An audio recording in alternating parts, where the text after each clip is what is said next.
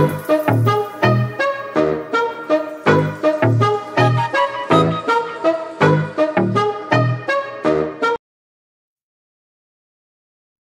back to another edition of Come On Now, the podcast. We are back for episode 23. Goddamn. A lot, goddamn, and a few specials that we've done in, as well. Can you believe we are here halfway through our first year? God damn. Like this is this is this is crazy. Before you before we jump in, if you haven't done so, please go subscribe and hit that bell, and also follow us on IG, Facebook, and TikTok. Come on now, pod podcast, and at X. And come on now, pod. I am Rudy Rodriguez Shoma, and I'm joined by Nick Taylor. I, we appreciate Wait, y'all. I, am playing. I'm trying to play this crap so to make you look good, but it's not working. oh, there we go. Former CFL veteran and three-time Grey Cup champion. Reintroduce yourself to our new viewers, Nick. Um, Rudy already just said one part of it. Um, former NFL player, also arena football player, D1 basketball player, self-proclaimed fastest man in the world. If you know but didn't know about me then, you know about me now. Uh, we appreciate y'all for tuning in. We're getting more followers, more subscribers. Y'all are really starting to rock with us. Y'all like it. Rudy can't stop paying attention to his Yankees. They're playing right now. He's a big baseball fan. He loves it. Maybe we start diving into baseball a little bit more. Yeah, we got to do that. Actually, my dumbass son. If you saw him in the, bo- the bottom left of the camera, You can't Put it- him that. it- Ah, whatever. He, I just told him to stay down, and of course he's lifting his head up, doing this type of nonsense. I don't know what he's doing. Great Celebrating his team, Rudy. You Yeah, raised the- him. You I, raised I, him. I, I You I did, raised him. I did a good job because the Yankees just tied him in the ninth inning against the Oh. Orioles. It's five to five. So he's going to celebrate, Rudy. You, you're, you're a 1980 parent, 1970s, real tough, hard ass. Sit your ass down, you dumbass, dumbass, dumbass. That's And I'm and I'm watching this in the in the in the in the picture frame in front of me in reverse. yes. Oh, that's a pop up. God damn it. But hey, we were down 5 1. Anyhow, I'm Rudy Rodriguez Shomai. I was actually Nick's travel team basketball coach. Um, God, seven, year are we in? Uh, 16, it. 17 years ago? Long 20 time, eight, 18 20 years ago. 20 years ago. No, Oh, t- uh, 19. 19, 19 years ago. 19 years ago. Yeah, because Nick is getting old, man. He's like 35 now, man. My God. 36. 30, you, you just turned 36? Yes, sir. Baby. Oh, my. Oh, that's You- that was in March. Oh, my God, right? You wouldn't even know because I look so damn good. Well, people, well, people have no, people have no idea how old I am because they always think I'm like 35 years old, and I love it. nobody. That's everyone. Everyone thinks that shit. Even, even, even when I was at your house and your little girlfriends were back in the day, spent, and I was what 43 at the time. 40, no, I was like 40 at the time, 41. They said I looked like I was, 30 to 35. So One, eh, eh, one hey. jump, one jump One of that. person is enough. But I'm, but that's not. I've been told this by many. I mean, you know, I do not look like I'm damn near 50. You're, you're definitely the 40s. Uh, oh, get the fuck out of here. Get out of here. Easily, easily. Get the fuck. And, you know, you you, you just lie to lie, man. It's, I it's right. don't. I, I get it. And no one has ever told me that I look like I'm 40. Okay. Nobody. Nobody. I, I told you that. You only you only know that. That's why you told me that. No, you're 40. You look it. Come on, guy.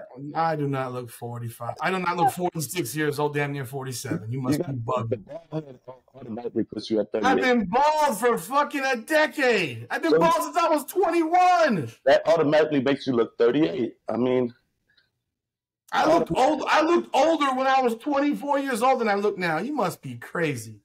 Jesus Christ. oh That- my God. See, you see, this is part of the Caitlin Clark hater community, community, but you're going to call it the Rudy hater community, where you, you know you like to make fun of me and, and call me a fat ass and say I'm retarded and, and call me all kinds of names in these posts. Because I mean, hey, I, uh, we, we were called clowns and don't know shit. Well, mind you, mind you, while the person is spelling the word "great" G R A T E.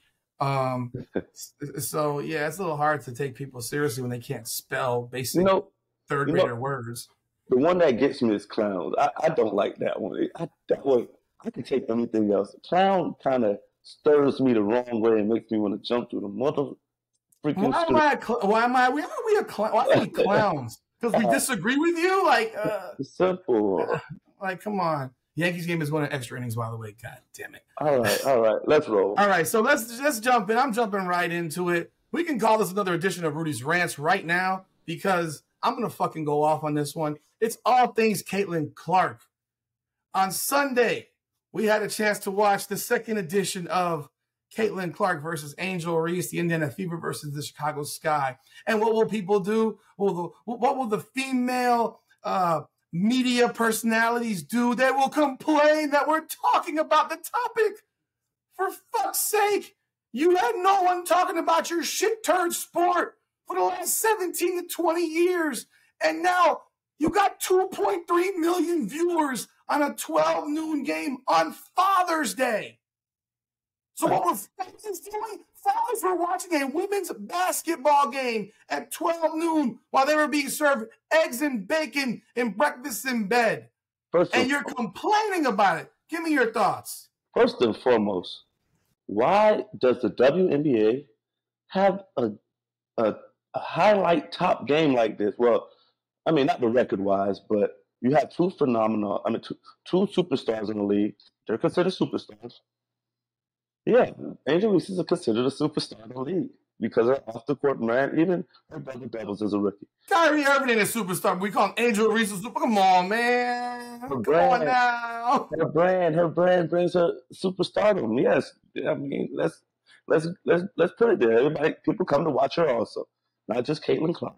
Caitlin Clark is top notch. She's one A. Angel Reese is a B. Rest of the league, C's and D's, F's when it comes to viewership.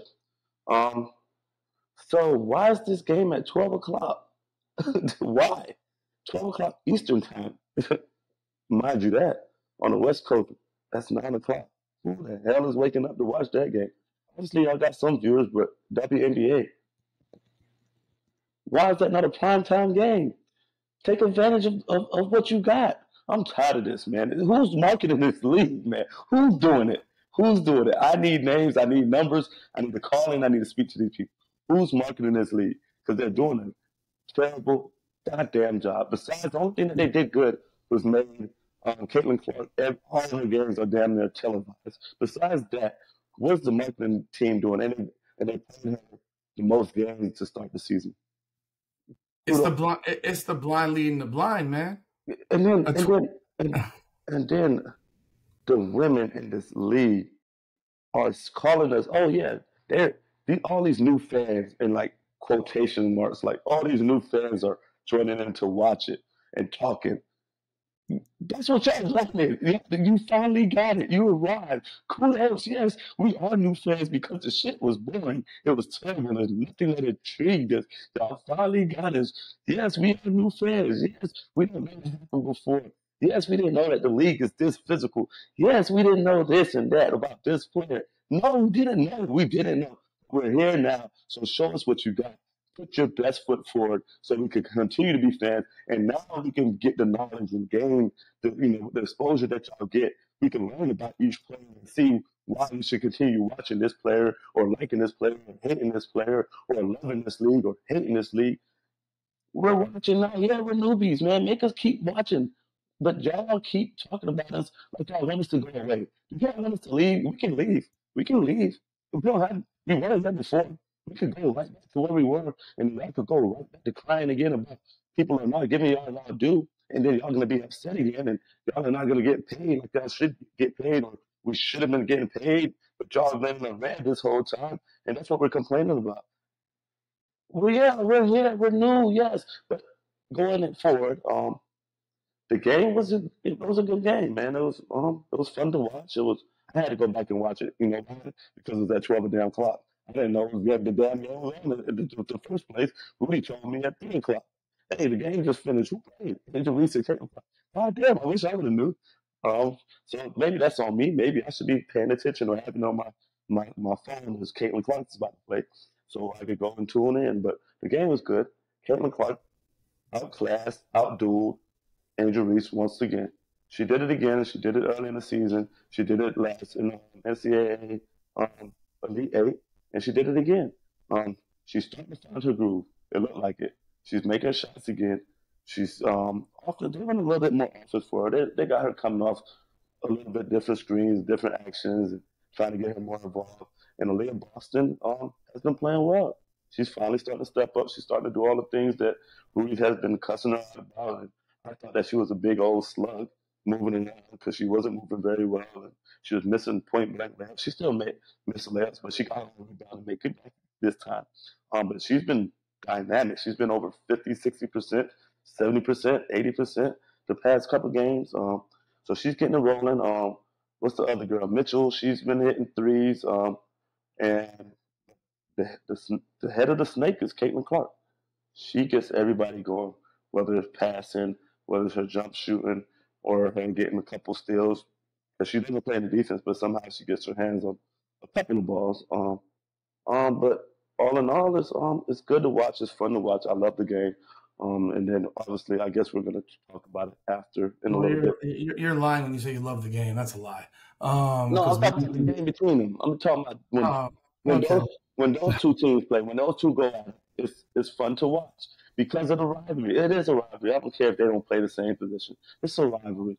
Whether it's because of the race, you know, black versus white, um, or Angel Reese playing a villain to Caitlin Clark, you know, all the fans that love her and, and, and, and want to see her do great, and you know, and the the vitriol between you know the fans. It, it, there is vitriol between the fans.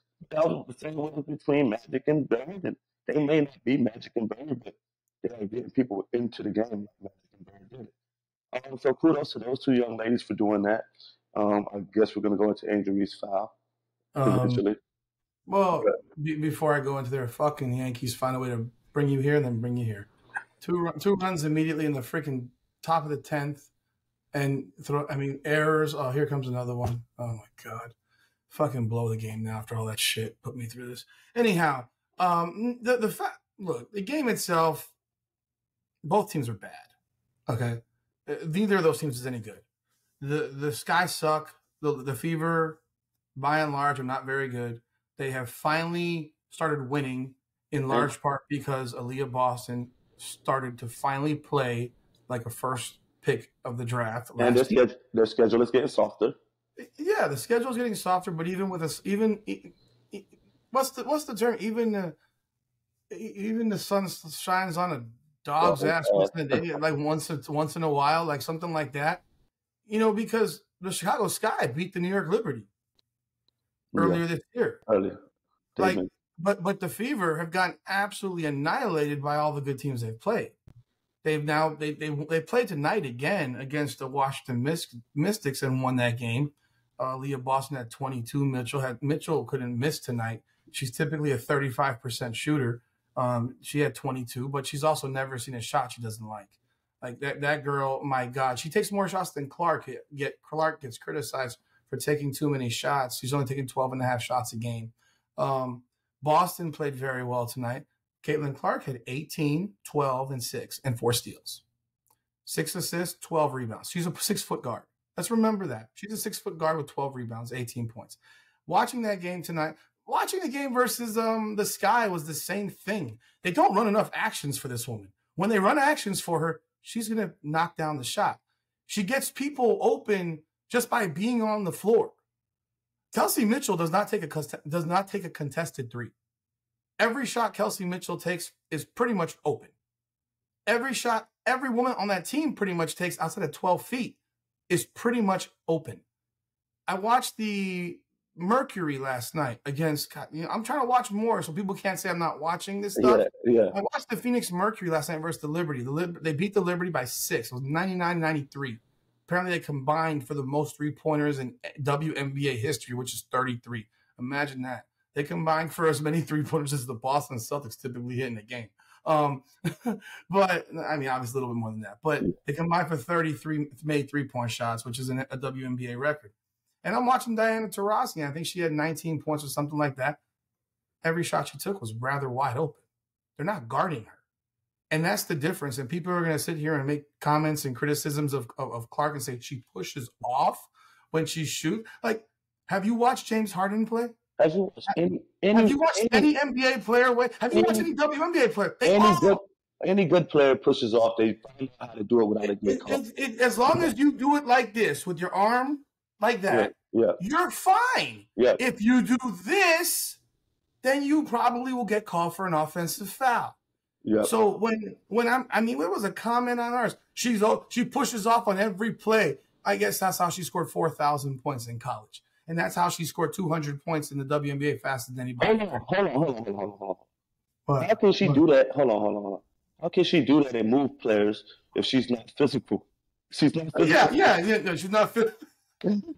She's not No. physical enough. She's Yeah, not, she's not physical enough to play against the other teams and and, uh, and across the in the across in the in Olympics, but she's pushing off everybody to score. Uh, like I mean, I, I can give you a I can give you a videotape of the most famous push off in NBA history.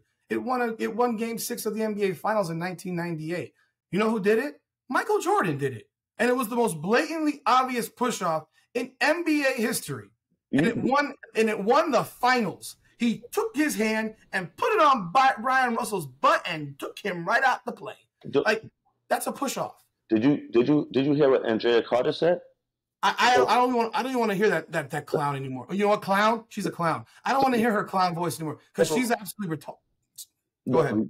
So she she went on and she was like, she kept going off and on and on and on about this is the physical league, the WNBA. Is It's not. They're clumsy. No, she said it's very physical. It's very physical, very physical. And, It's and you have to understand that that foul was that foul was it was a basketball play. It's just because No, it it's wasn't. a physical. It's a physical No, game. It's wasn't. a physical game. It's a physical game. But if it's so physical in the WNBA, because you're making it seem like it's more physical than anything else, doesn't that go against what you just said that Caitlin Clark can't play in the Olympics because it's physical? Aren't they preparing her in the WNBA to be physical? If, if they're not, if you keep, you're the one that's telling us that it's a physical game and we don't understand how physical it is in the WNBA, the W, then shouldn't she be okay to the W? Shouldn't she be okay to handle it in the Olympics? They can't be more physical than, than the women in the WNBA because you just made it seem like it's the most physical league ever. So you to prepare her to, to to withstand that when she plays in the Olympics if she was to be called on that team. So that shouldn't be no damn reason that she shouldn't be on the team. So I, y'all are making y'all are making things okay from when y'all want it to be okay, but when y'all don't want it to be okay, y'all use it against her. So y'all got to make up your mind. Pick one. Is she physical enough or she isn't? Is she pushing off too much or she's not? Because y'all, y'all, y'all can't have it both ways with this with this conversation. So I have to pick one side and roll with it. Because right now y'all are playing both sides just to make y'all point of y'all conversation work for y'all. It, it, so yeah, to that to that point, if it's the physical league, then pushing off is normal. Pushing off is normal, right? It should be normal because it's normal in the NBA that you see shooters constantly use their arms for separation. hmm I mean, Jimmy Butler notoriously does it on almost Yeah. every jump shot he takes. He's a Every shoulder. player, Yes. he shoulders them out. Yeah. That's a, that, that. I mean, in theory, that should be an offensive foul, in my opinion, because guys literally fall on the ground from that. Um, because he's strong as hell. So As long as you don't extend the hand, you're good. yeah, and, and but the fact is, is that no, she doesn't push off in every play because she's taking thirty fucking foot three point shots. She ain't pushing nobody to shoot that shit. She's stepping back, clown people. And and and Drea Carter doesn't have to speak anymore. Every time Drea Carter speaks, it's like it's like listening to um uh, the regurgitate uh, vomited soup or something like that. She does nothing. She says nothing, and yet they keep bringing her on first take and ESPN and, and trying to prop her up as some fucking expert in basketball. It's painful. She's been at ESPN for two fucking years. Her entire career has been based on Caitlin Clark's success. And I said it before, and I'll say it again. But watching that goddamn game, and I'm watching, for example, the foul with Angel Reese. In theory, was it a basketball play? Yes. Sure. Yes, it was. It was You want to know what? It was a reckless one because she had no shot and shit of blocking that shot because she doesn't have the ability to jump that damn high. And secondly, she never even touched her arm. So you you flailing your arm across, you cracked her across the face. And look, it happens. I get it. But then they're debating if this is a flagrant foul. No, it's a, They're it's they a deba- Nick, they debated it. It took like seven minutes to No, make the decision. If that happens in the NBA, there's no conversation about this. It's a flagrant It's an automatic flagrant. I've seen that called 500 times in the NBA. It's not a discussion. It's okay, okay, boom. It- it's reckless, whatever. Yeah, it was you- reckless. It was you- reckless. Once you wind up and you hit somebody in the head like that, It's that one where you you just try to you try to catch the ball early, and, and most times you miss it. So and then you catch the person in the red because first of all you're not athletic enough to jump up there and get it. So you have to just do that little swipe. And once you swipe as hard as she did, you hit a net. That's a flagrant.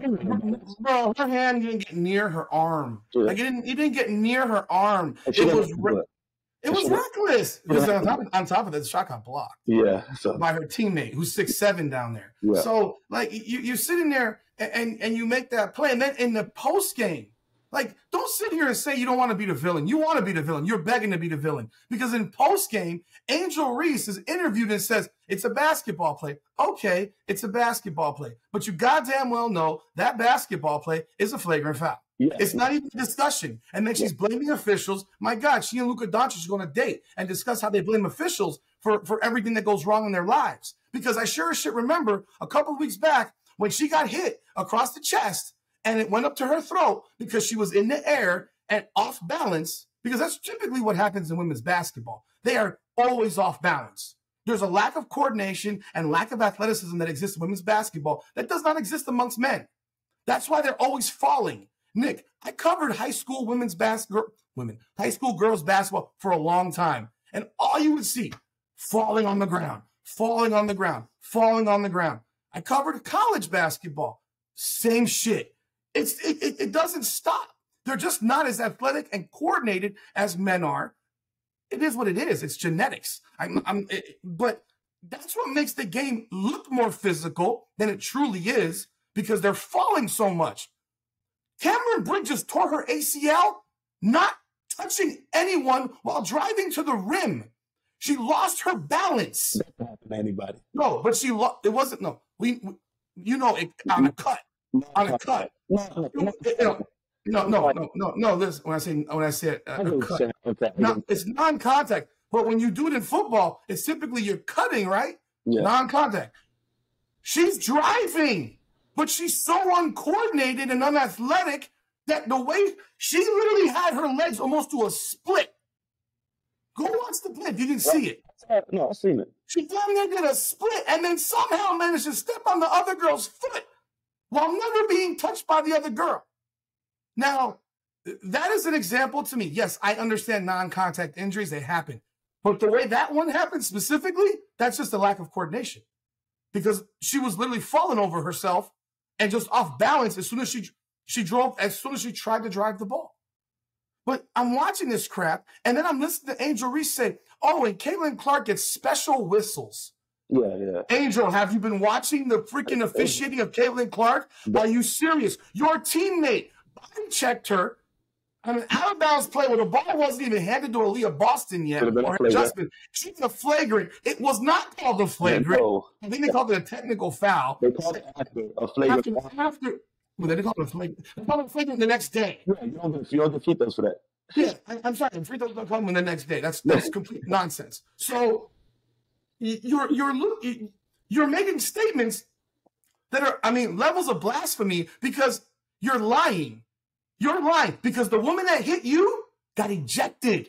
Yes. So Got the, ejected. And on top of that, she shouldn't have been ejected because to me, that was basic boxing out. You went around her, she stuck her arm out, and because you're jumping in the air, it hits you in a certain way that makes you fall down. Yeah.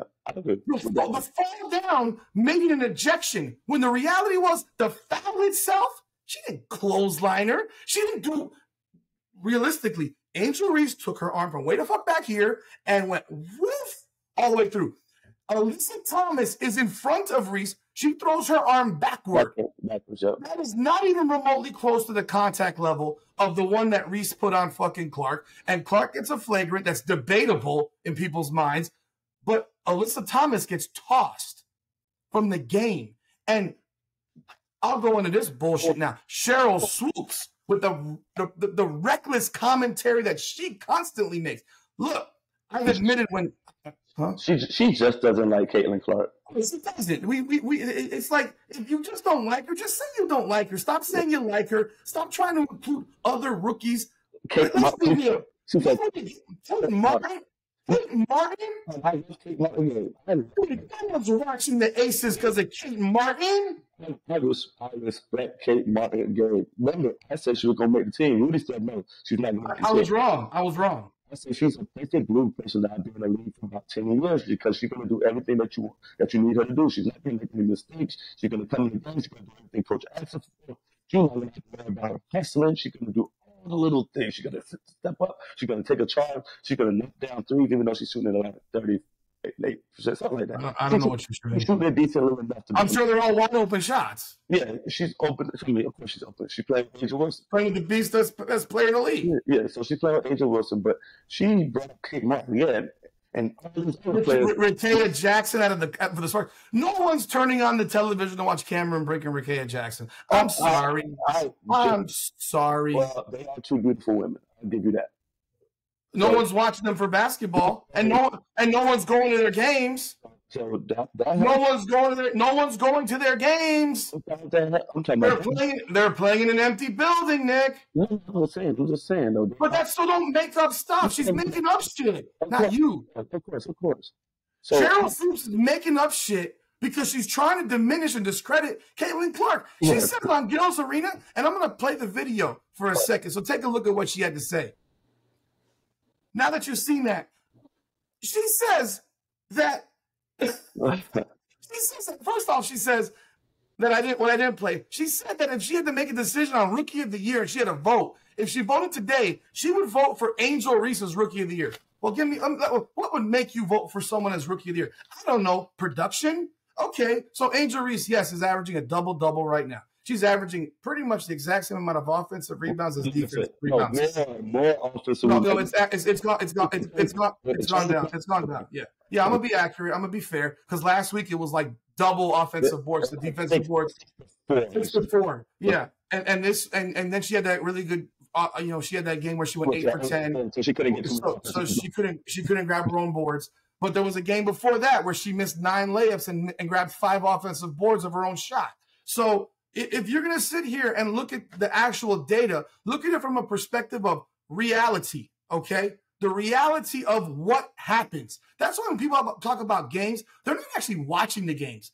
I watched Caitlin Clark tonight. What happened? Six more turnovers. Six more turnovers. Three of them, her teammate dropped the pass. They hit him in both hands. And what happens? It's a turnover for Caitlin Clark. Yeah.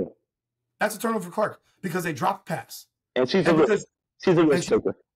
And she takes a risk. She tries to thread the needle, and they're not used to the needle being thread, and they're like shocked that the ball's in their hands. Just They drop it. She she she passes like Steve Nash. Remember when Steve Nash was Yeah. you know, Yeah. had all those Yeah. turnovers, but he turned back and controlled them a bit because he understood the game and he Mhm. read it differently. And they also got their teammates a little later on too. Yeah. You know. But like you, she could com- she could you know complete these passes like on football. She could actually connect on these passes to Purdue teammates, but the, the WNBA players can't catch the pass. But yet they're so they're, they're, Iowa, they're- Iowa. Purdue, I said Purdue, Iowa. So, uh, so Iowa, yeah, same thing. Um, but yet you're going to sit here and tell me that the that the WNBA players who are so talented, immensely talented, can't catch these passes. Yeah, there's a problem there. So I'm watching that game. So those turnovers that we constantly harp on, she's getting turnovers because her teammates can't catch. Mhm. A, a lot of them. She's responsible for some. She's not responsible for all of them. Now, when I when but but it, but then when you look at Reese's numbers, Reese averages 4.6 offensive boards to 5.6 defensive boards.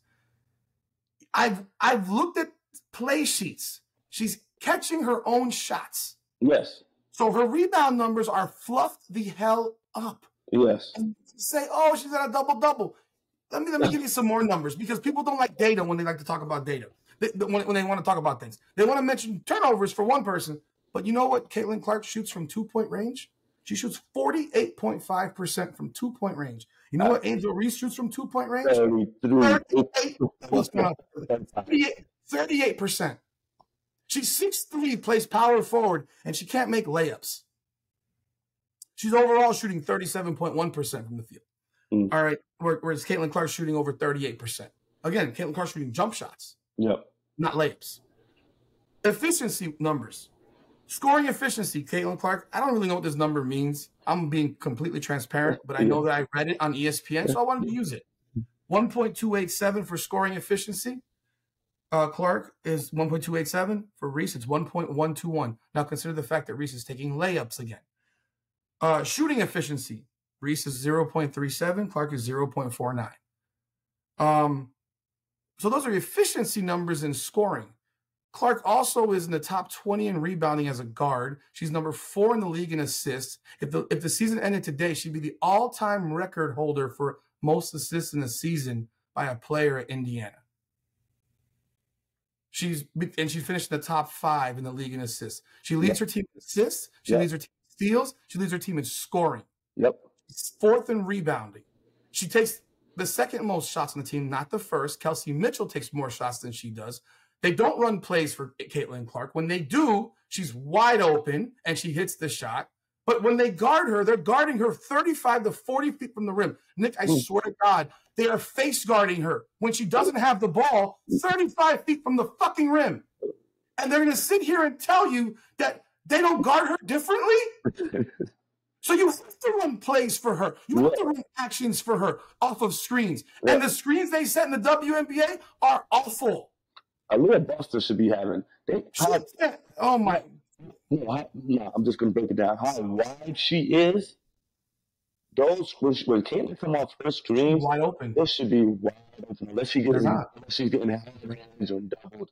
Then Oh. but, but man, Aliyah Boston screens should be very important. They're not, but they're horrible. Size, man. Look how wide she is, man. She's a They're long awful. people to get around. Remember when I had Boozer? But It was a different time though.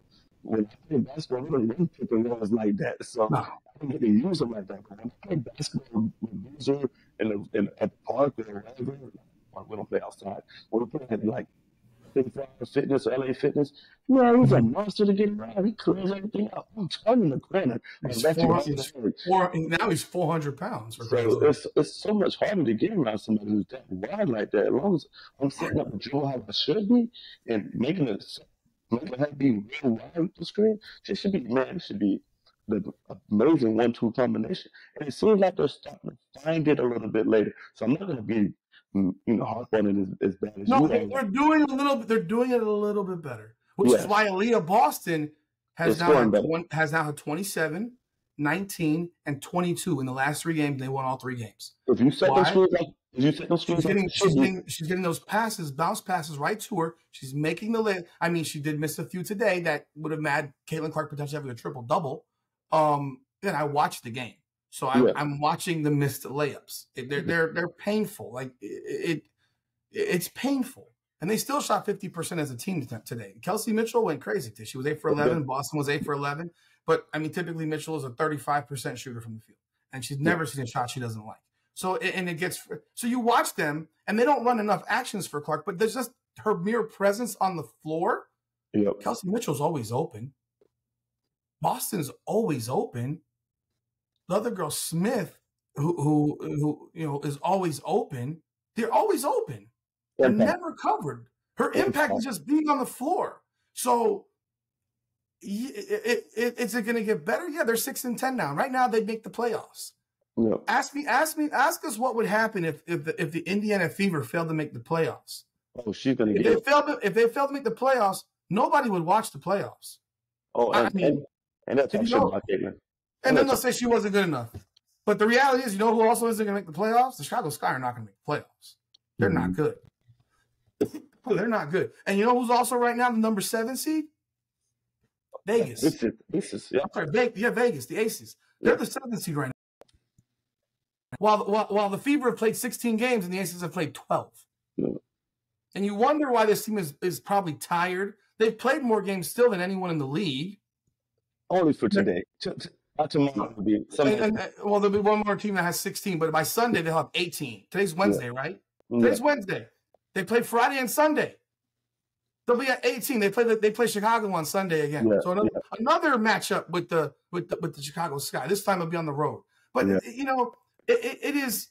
But listening to Angel Reese say these things and saying that she's getting these whistles, like Yeah. what are you talking about? Mhm. And listening to Sheryl Swoopes with her her dribble, I, I almost think that Gil brings them brings her on there for shock value because you can't take her seriously. At time, even Kenyon Martin had to go on there. Even Ken, Kmart was on there saying there were guys, and and this goes back to she makes a statement that people said they should not play hard against her. No, No one ever, no no one- one's ever said they should not play hard against uh, Caitlin Clark. No. No one has ever said that. Nobody said that. What we have said very clearly is that they play her differently. That Yeah. they play her, they're, they're they're hitting her with far more double teams than anyone in the league, and that's statistically proven. They're they're trapping her. They're Yeah. doing everything they can to not have her get the ball because they're afraid of her shooting. And Yeah. she searches for shots because her coach doesn't right draw draw plays to get her open. There are times where I think Caitlin Clark is passing up on wide open shots that she should take because she's trying so hard to get other people the ball. But And she's look- unselfish. And she is. I you know, told- she but- should be more selfish at times. Yeah, she should be shooting. She can't, she can't, she can't pass up a wide open 16 footer ever. She, she has to be shooting 17 shots a game, but she but she's the point guard. She If she was averaging 17, she'd be averaging 25 a game. she's But a, because she's taking 12 and a half, she's averaging 16 point something a game. She's a point guard and she's a real, you know, you know, she don't do the hoorah stuff. So, you know, she ain't gonna come in here like motherfuckers, this my fucking team. I'm gonna shoot this motherfucker. She ain't gonna do that. She's gonna try to get everybody happy and everybody the ball. But- she but should you- be getting but- eleven shots up. But Kmart made a point to say, when I was the first round pick and when I got drafted, there were guys that I know played me way harder Yeah, than they played the game before. And I even saw, I said, man, you didn't play this hard last game. yeah. So I don't expect people to not play her hard. They're playing her harder than anybody Yeah, because they're afraid of getting they're afraid of getting embarrassed by her. Because when you watch these games, I'm watching threes being shot wide open by everybody else, and when Clark takes a three, it's from 28 feet out. She's never toeing the line. no. She's never close to the line. When she comes off of a screen, when the, when the rare times she gets them, the big hedges up immediately because there's no if, if they had if they go back, she'll shoot it without They a don't, they don't play like LSU played them. No, no, they're not gonna drop on her. Like they're, she's gonna drill that shit right in her goddamn face if they if they back up off her. But she's never taken a 22 foot, six inch three point shot. She's taking them shits from 28 feet out. I watch air balls from 23 feet from these women, like air balls. You know, so she's she makes this comment, and then I mean, Swoopes just just admit I don't like Caitlin Clark. Yeah, no problem with just that. say it. I'm Just fine say it fine it. because because it's it's it's like when you mention other rookies, no one cares about these other rookies. There's two rookies that they care about Yes. one primarily. Caitlin is one, and Angel Reese is a distant second because we proved that not we, but it was proven in Washington when the Mystics played both teams back to back nights or within two nights of each other. Mm. And Angel Reese, who's from Baltimore, drew 10,000. Yep. And then Aunt Caitlin Clark, who's not from Baltimore, drew 20,333, the largest crowd in 20 years in the WNBA. Yep. A lot. I, I I mean, that is a proven fact. But Yes. data data sucks, and people don't like it. And then Swoopes goes on, and at one point, Gil Gil, Gil says, "You know, they're they're um, you know, one's a bully. You know, Angel Reese is a, plays like a bully, right? Yeah, she does. And she does play like a bully. That's her style. That's her mo- That's her mother. That's how but- she. but- Zach but- Randolph. Zach Randolph. Zach Randolph. A female. But Listen to Sarah how she tries to flip it and says, Angel's not a bully. The real bully. Is- the real bully's Caitlin Clark because she pushes off on every shot she takes. Did you, Nick, Nick, I swear to God, when, we get done with this, and I may just do this for shits and giggles to over to play Sheryl Swoopes' national championship game in 1990, whatever the fuck year it was, 94 or whatever year it was when she went for when she went for 47 in the national championship. Nick, when I tell you, look at the dribbling first, it's just like this. Mhm. Look at the women and how no defense is played whatsoever on Sheryl Swoopes. Like they're literally backing away. Mhm. She scored 47 points against Air. She didn't have five shots contested the entire game. She's getting layups, wide open shots, every shot. Like it looked like it looked like Bob Cousy out there. It looked like them 1960s men's games that you people criticize, where no one really is on anyone trying to really defend somebody. So Sheryl Swoopes was a phenomenal athlete and a phenomenal player, levels better than all these women out there. Yep. And and and it, and it showed, but there was no double. They didn't double team her. They didn't double her. Are you? I'm telling you, you Google it, you look it up. It is it is comedy because they make that game sound like Kobe going for 81. Yep. They Yep. make it sound like Booker going for 70. They, they make it sound like Dame going for 70. It, it, no one's guarding these women. She's not being double teamed by anyone. And if you remember the game, she scored more than half their points in that game. But you're sitting here and you're talking about how people play defense. Yep. They wasn't even playing you in the national championship game. They were backing off of you. You're getting easy buckets the whole damn game. Yep. And you're the best player in the in the country that year. Like, Man. like, give me a damn break. But sitting here calling someone a bully because she pushes off, like, like you can't be like that's when it goes to the point where like you can't be serious, man. Steph Curry does is- it. And this is why Steph Curry's a bully. clearly, because and this is why fans of Angel Reese or anyone anti Caitlin Clark will jump on that commentary and say, "Well, see, I told you," because Sheryl Swoopes said it. She must be right. She, I had someone say Sheryl Swoopes knows more basketball than you. No, the fuck she doesn't. No, she doesn't. No, no, just because she played women's basketball, she knows mm. more basketball. I coached basketball. I coached Nick. Nick played Division One basketball. I coached another 20 guys that played Division One basketball. I coach guys that are playing professionally. I'm going to sit here and call myself John Calipari? No. but I know basketball, even if I can't jump two inches off the ground. yep. I don't need to have jumped off the ground to, to know basketball. And so when she met, like people met, because she played. Oh, well, okay. And if I gave her, and I, and if I gave her a history lesson on, on, the rules of basketball, she failed. By the way, I did verify what I told you yesterday or on Monday. The gather dribble was actually written in in 2019. 2019. For real? 2019. It was actually So- so- it was detailed in writing in the rule book in 2019. So what? There was conversation about it in 09, okay. what it did not exist. Huh? When LeBron did, what was that called? When he did it against Washington, Traveling. it was they called it a trap dribble, man. I don't know what it was called, but I mean, it, it was traveling.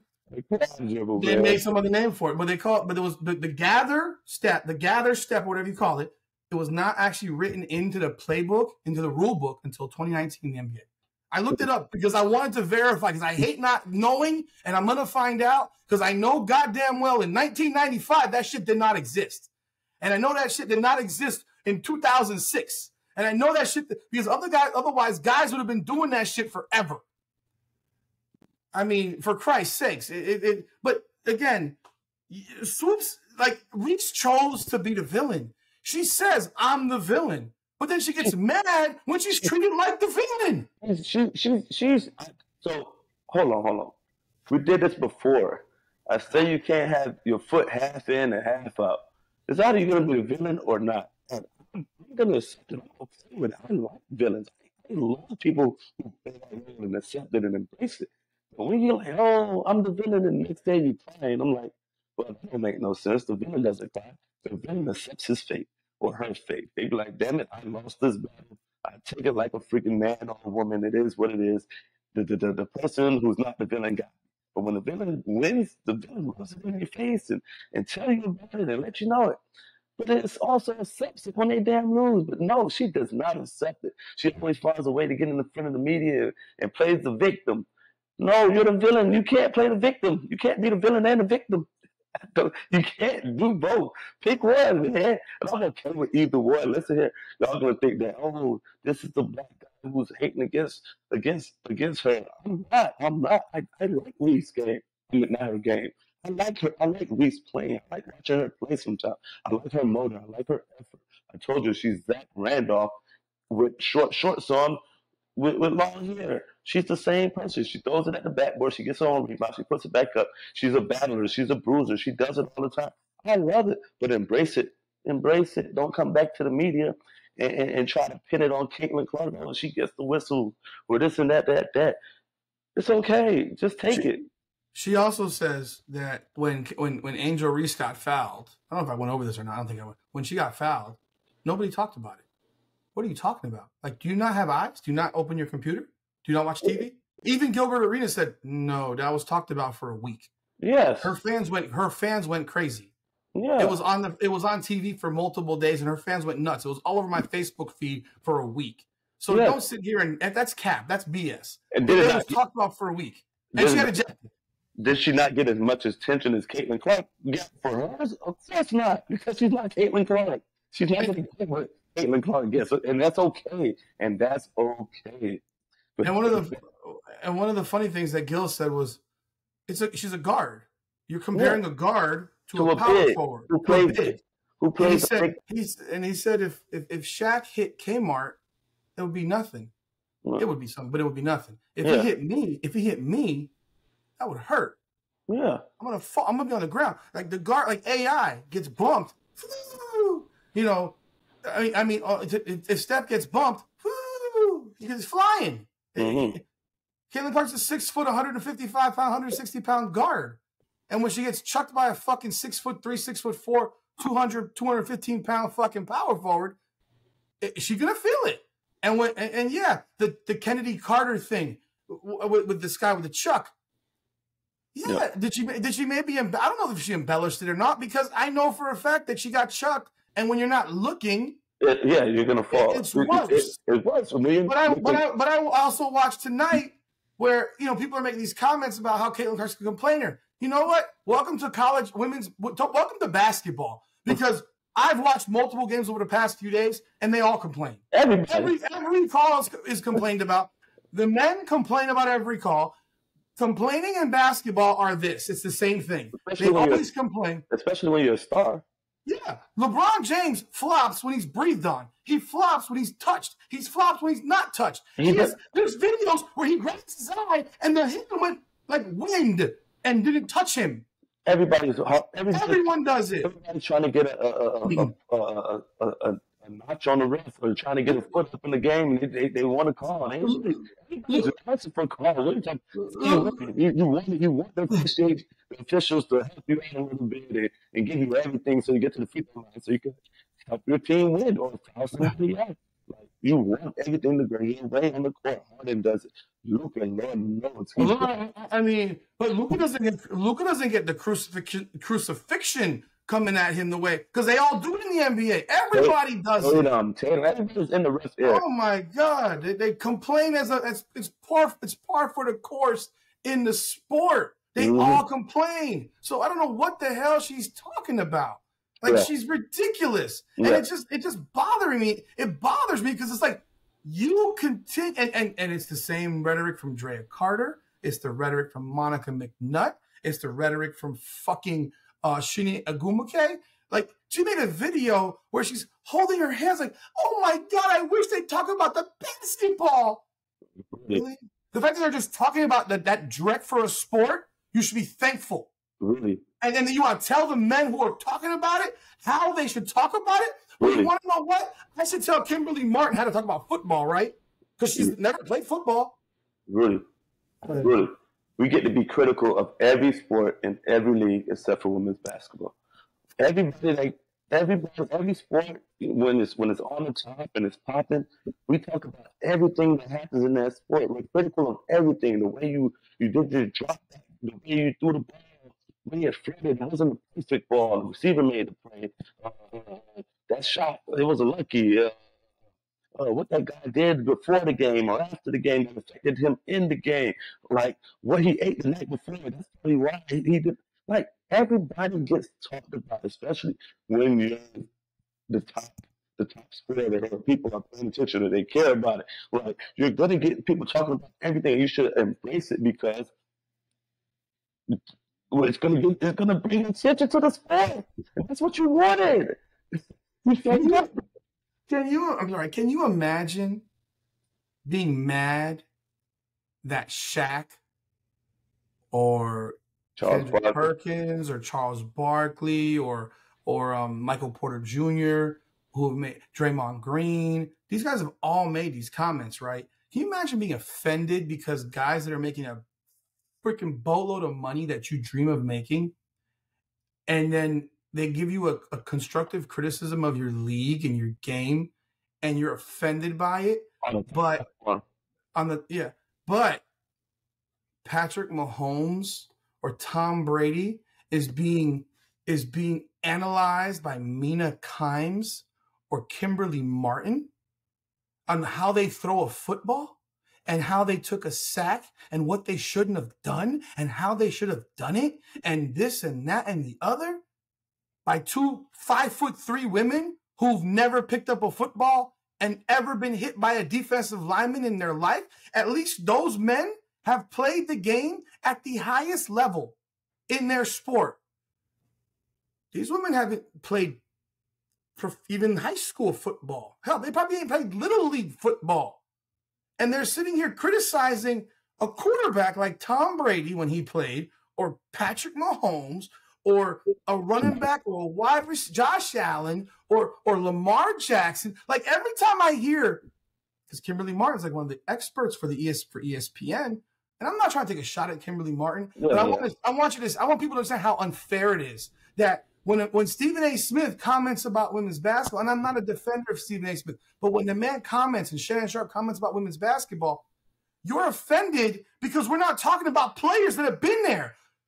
Newsflash: No one gives a shit about those players that have been there. No one cares that Connecticut just lost their first game a week ago. No one gives a shit. No one cares that the Houston Comets won the first four championships because if I asked you who won the four championships from 1982 to 1986 in the NBA, would you know? You probably wouldn't. I mean, you'd guess the Celtics or Lakers probably more, but you know what? In that in that time, Philly won. Philly won. One. Oh, it wasn't just the Celtics and the Lakers. Philly won one. So when you're going, because it was uh Celtics, Celtics, it was it was uh Dr. J. Malone. It was Dr. J. Malone. Barkley wasn't there yet. I think it was 83. Celtics were 85. Lakers were 80. Celtics were 82, 85, and no, 82, 84, 85, or something like that. But they, but there was the Philly was in there somewhere, right? Yeah, yeah. And and but you're offended because people are commenting about your game and how to improve your game. You're a bug that someone says you should lower the rims why? Because we're watching 38% from the field from layups. That's why. From your, some of your better players. Yes. Like, and that's not just Angel Reese. No, it's not just. It's not league, league wide. Best guards, your best guards shoot 34% from the field. Jewell Loyd shoots 34% from the field, and you put her on the Olympic team. Arike Ogunbowale shoots 37%. And by the way, she said she didn't want to be on the Olympic team. She took her name out. That's why she wasn't on it. So when people yeah. say she snubbed, she wasn't snubbed. She says, I don't want any part of it. Yeah, she said Kelsey Plum, Yeah, Kelsey Plum, she was 36% from the field. She's one of your elite guards. Um, Diana Taurasi, she's 37% from the field. One of your elite old people guards. Like these people are shooting at a level that's commensurate or lower than Caitlin Clark right now. But they're amazing, and she can't take physicality and they're wide open, and she's being double teamed all over the fucking floor. Because I've watched them all play, and I've watched how open their looks are. And the first Caitlin Clark shot that has her toeing the three point line will be never. never. It will never happen. For the duration of her career, she will never get one of those types of three point shots, ever. Because they're guarding her 35 feet from the rim, fronting her. They don't even care if someone's right behind them. They're not even turning around. Now they get, they might get lost now and again, mm-hmm. but they're not. They're not even. The ball could be over there. I'm looking at her. As they if should. She catches, if she's catching the ball, I'm here. Because if I look that direction and she backdoors me, I'm gonna get screamed at. Yeah. You know, or whatever. So I, I call that parking lot defense. I told you, parking lot defense. I've been calling the parking lot defense. As soon as they, as soon as they up in that parking lot, I want you batting Kate. I, I don't care. As soon as she get out the bus, you should be going. Wherever she goes, you go. Don't worry about nothing else. You got Caitlin Clark. Parking lot defense, baby. That's what I call it. Yeah. As soon as they come in that parking lot, that's what you got, man. I don't care about nothing else. Nothing.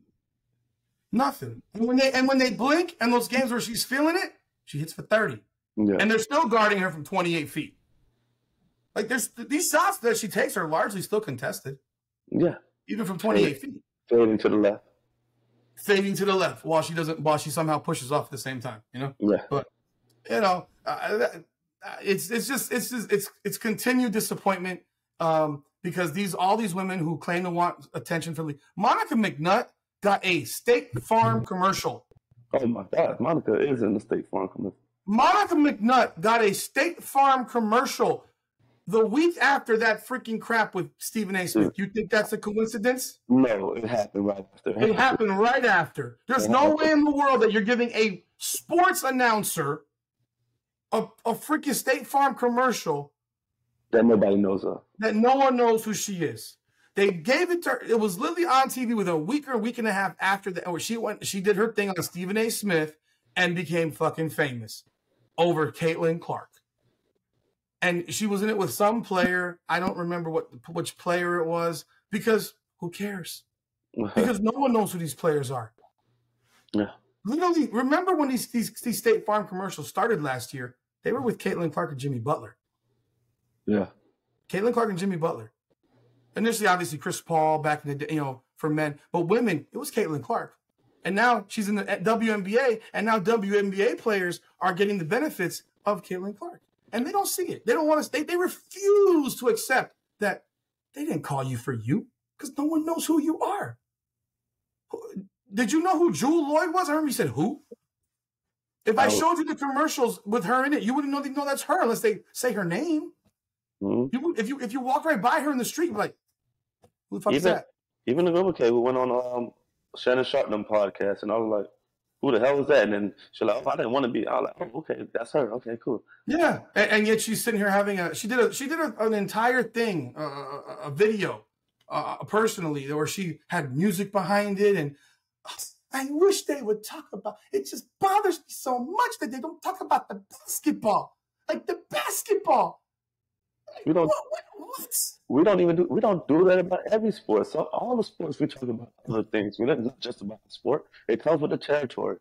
It comes with the territory. Like we're gonna sit and talk about Bronny James, and, and, and we're not talking about basketball. Hmm. It's not a basketball. It's not really a basketball topic. It's a nepotism topic. It's Yeah. a it's a manipulation of, of- of status and position topic.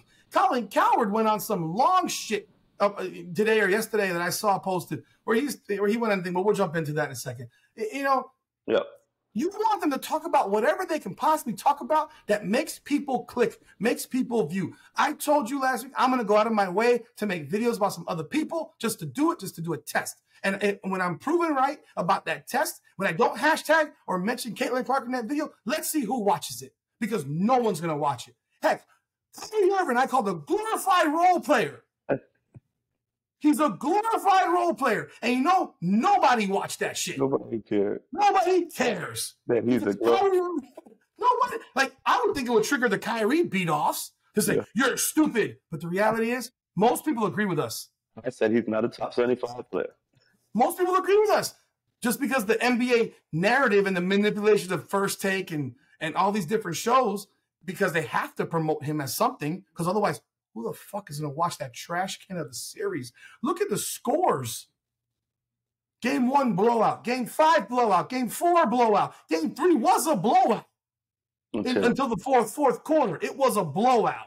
Game two, what was the final score of that game? They won by seven, right? they won by like seven. The only real non-blowout, the duration of the game.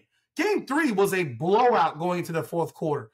That was the most unentertaining NBA finals that I have seen in forever. Even more unentertaining than the one last year with the Nuggets and the Heat.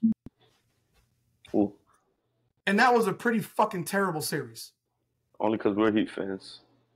And I'm a Heat fan, but that was a terrible series. Yeah. But it wasn't worse than the series that I just saw. It was awful. That, that was bad. And the fact they had a week and a half gap between basketball, the the the the, the, the pregame, the postgame, the, the lead up, who gave a shit? Nobody cared.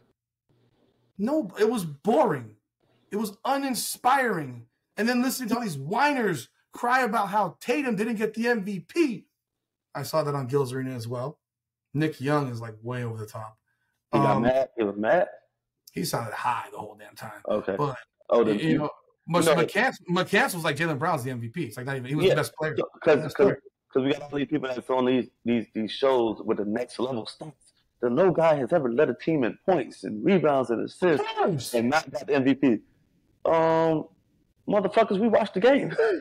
we watched the game. Tell me all those stats and all that bullcrap and all those stats all you want to, but we watched the game. The people who watch the game know what happened. The people they don't take it into account. They don't take it into account. And he was guarding the best players on the other team, 84 feet and locking them up. They don't, they don't take into account to that and the next level stats when they go to points, rebounds, and assists. It don't, yeah. None of that. We people who watched the game understood what happened and why Jaylen Brown got MVP. And it's plain and simple as that. So you can next level stat me to death all you want to and yada yada yada yada yada. Well, there's a first for everything, and this is the first that it's going to happen. And Jaylen Brown got it, and he deserved it. And they ignored the, and they ignored the fact that with their next level stats, the most efficient player on the floor for three ga- first three games was Jaylen Brown. Yeah, the first three games when you needed the, the biggest shots, the biggest shots in all the games were Jaylen Brown. The first three games when you needed him, when the pressure was sort of on, he made it play. But when it was 3-0 and you know and 3-1, and we kind of like chill a little bit. We, we, we, saw the fourth quarter. We saw who was handed the ball to shoot the ball every fucking time, yeah. pretty much over the last five minutes to fluff up his numbers to make it look like he just like he didn't have. I mean that that 31 and 11, it was 23. It was 23.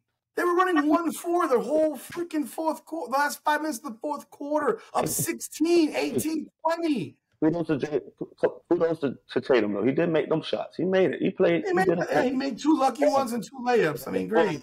But if you look at the full picture, it was Jaylen Brown. It's a series, not a one game set. It's a series. Yeah. It's a series. And and and when I hear Gilbert Arenas was points, but I don't care. You know what that tells me? It tells me that you know what position Jaylen Brown. Like people, people forget. You know what position Jayson Tatum plays for the Celtics? He plays power forward. Power forward. He plays power forward. He's guarding the power forward. You know what that means? He's by the rim. Because if he was guarding Luka or Kyrie, he would not be by the rim to grab 11, 10, 12 rebounds a game. He did guard like, him. He, he did guard him a lot. Though. On switches, on yeah, switches. He's guarding PJ Brown. He's guarding Dereck Lively. He's by the rim. He plays power forward for that team. Yeah. Jaylen Brown's playing Jaylen Brown's playing small forward or shooting guard. Yeah. And and and so there's a difference. Otherwise, like I mean, remember LeBron doesn't average 16 rebounds a game in the regular season. He averages seven. In the playoffs, he becomes this fucking power forward machine grabbing rebounds. because he's playing next to the rim. He's playing bigs. You know, but you know, that that I will do them videos because I just and just off the off the side on the cuff and and I will post them and we will see who gets real real real reviews and real footage. The fact that Derek White's broken tooth got more views on YouTube than Kyrie Irving being called a glorified role player That's tells crazy. you all you need to know. That's crazy. So we'll jump into this next topic. I mean, yeah, we went an hour on this one, and I'm fine with it because I get to chop up a whole lot of stuff you all to really love. Rich Paul says LeBron is all is off his idea of having to play with Bronny, Paul told ESPN. If he does, he does. But if he doesn't, he doesn't. I call oh. bullshit. There's no deal made that it's guaranteed that if the Lakers draft Bronny at 55, LeBron will resign. If that was the case, I would force them to take him at 17. We don't need leverage. The Lakers yeah. can draft Bronny, okay. and LeBron doesn't resign. Okay. That's we know that's bullshit. LeBron is also not going to Phoenix for a minimum deal. We can squash that now. I don't think he'd ever go for a minimum deal anywhere. If Bronny's name was Charles Jacobson, he and he was my client, I would do the same thing. Identify teams that have real interest. I'm going to say one thing real quick, and I'll let you go. If your client's name was Charles Jacobson, first of all, that wouldn't be your client because you wouldn't have. Uh, it's highly unlikely that a, uh, uh, be a Jewish basketball player, as I don't think there's but one in the NBA. Mm-hmm. Um, but he'd also be telling you to go back to school to hone your game more because the fact that you would sit here and say that you would say the same thing like that's just a joke. You would be telling that guy if he was averaging 5.8 points per game and shooting 27% from three you would be telling charles jacobson to go, go back, back to, to, go back to school. Hold on hold on hold on. He wouldn't be telling charles jacobson that. He wouldn't be he wouldn't be representing Charles Jacobson. That's the first point. If if Charles Jacobson averaged five points at at uh, USC, you know, he wouldn't be representing him. He don't even know the kid's name, you know. So that right there is just crazy in itself. Like he would not be representing that guy, so you wouldn't have to worry about that. So um, but I don't know. Rich Paul is pulling um, Rich Paul moves. He has earned it now. He's putting himself as a top echelon of uh, of uh, agents, and, and he's known around the league, and he kind of have a power cord that he could pull when he wants to. So if he says that that he could get Bronny drafted with the 17th pick if he wanted to to keep LeBron, who are we to say that? Who are we not to believe? He says that the uh, the Mavs GM is like Bronny's uncle, so that's another spot Bronny could go to.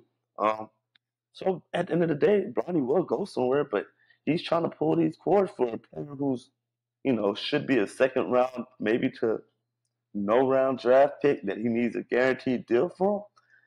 Um, she's really pulling that LeBron cord. I mean, he got in there. He got in there as an agent because of LeBron, but it looked like he's taking the next step to be that guy to to pull strings when he want to and how he want to. That's why we say um, when people say things is politics, it really is politics, man. Um, I know a lot of football players like, man, I was one of the best players in that camp and, and when I went to a camp, and, and, they end up cutting me, man. It was politics, and they damn right for the most part. There are some players who are god awful. I don't care what they talking about. You got cut because you just suck. Some players, man, this other player is getting already getting guaranteed money. Um, this player knows this knows the G knows the GM. His agent knows the GM, so they're in. You know, they they're intertwined like that. So sometimes it is politics, and that's how it works, man. I'm not mad at it anymore because it is what it is. It probably screwed me out of getting another shot in the NFL, but hey, it is what it is, man. That's just how it works sometimes. Man. People in power, they use their power. It ain't for all good. It's not all for evil. They use it, man, and that's just what it is, man. Suck it up, man. Bronny might Bronny's gonna get drafted. We're gonna live with it. Bronny's getting drafted, whether you like it or not. He's getting drafted. Are you clapping your hands every time you say a word? No, that's probably my thighs. Clap them thighs. Clap them thighs. it's very, very loud. Okay. Um, Stop clapping my thighs. I call bullshit. I call bullshit on all of it. It, it, it. this is what agents are supposed to do. Yeah, this, this, is their this is their job. They they hype their they hype their client up, even though it's a lie. So um, I'm going to say going to be in the first round because that because that's such a bold that's such a ridiculous lie that every, no one on earth would believe it. Why? Um, I say the why? Because, because it's not good enough. He's not even remotely good enough. The team twenty three and thirty was like, oh, not, no fucking chance, no fucking chance. There's no. A lot of agents tell bullshit lies all the time, just, and, and they tell bullshit lies that are believable. lies, lies by agents that are not believable are not worth telling if you have a lie, it needs to be remotely believable for the public to buy it. it, it so you can sit here and say, well, why not say, oh, he's the first round pick? No, he's not because we've all got eyes. And none of us are that fucking dumb. So you can't, mm-hmm. you can't put a freaking whoop, a bag over our head and say, oh, yeah, Ronnie's a great, great player. No, he's not. He's a, he's a mediocre college player. He's a mediocre to below mediocre college, below average player as a freshman. Could he become a better player yeah. in college? Absolutely. Much better? Not really, but he could become a better player. That said, he's not a pro, and the fact that they they don't work out for anybody. Yeah, that's it, that's the crazy that, part. That's ridiculous. And to me, that's to me, if I'm a pro, if I'm a guy who was playing college ball, I'd be so bothered by that.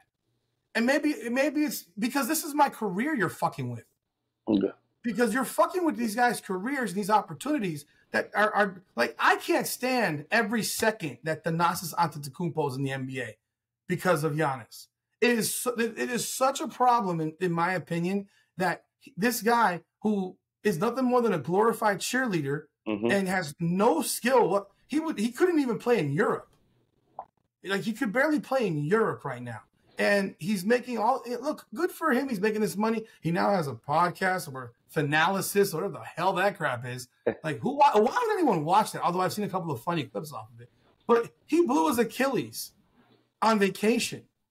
He's Oh. out for next season. So he can, all he can do is, you know, clap and, and be a cheerleader again. And collect his money.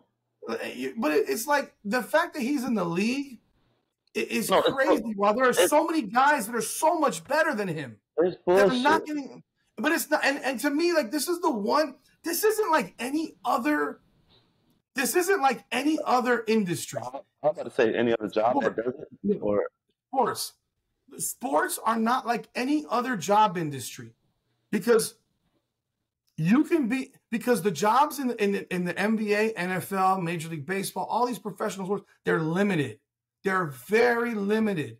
You think Shane McMahon had to earn his job at the WWE with Vince McMahon when Vince McMahon was the CEO? No. No. But that's what, what it is. But, that- but that- but but he owned the league. He owned the he owned the company. Did that prevent someone else from getting a job? No. So why is it only why only stop in sports? Why can't why? Because be- because they're not, because there's not preventing someone from becoming employed. In mm. sports, the jobs are so limited and the times are so truncated for your career.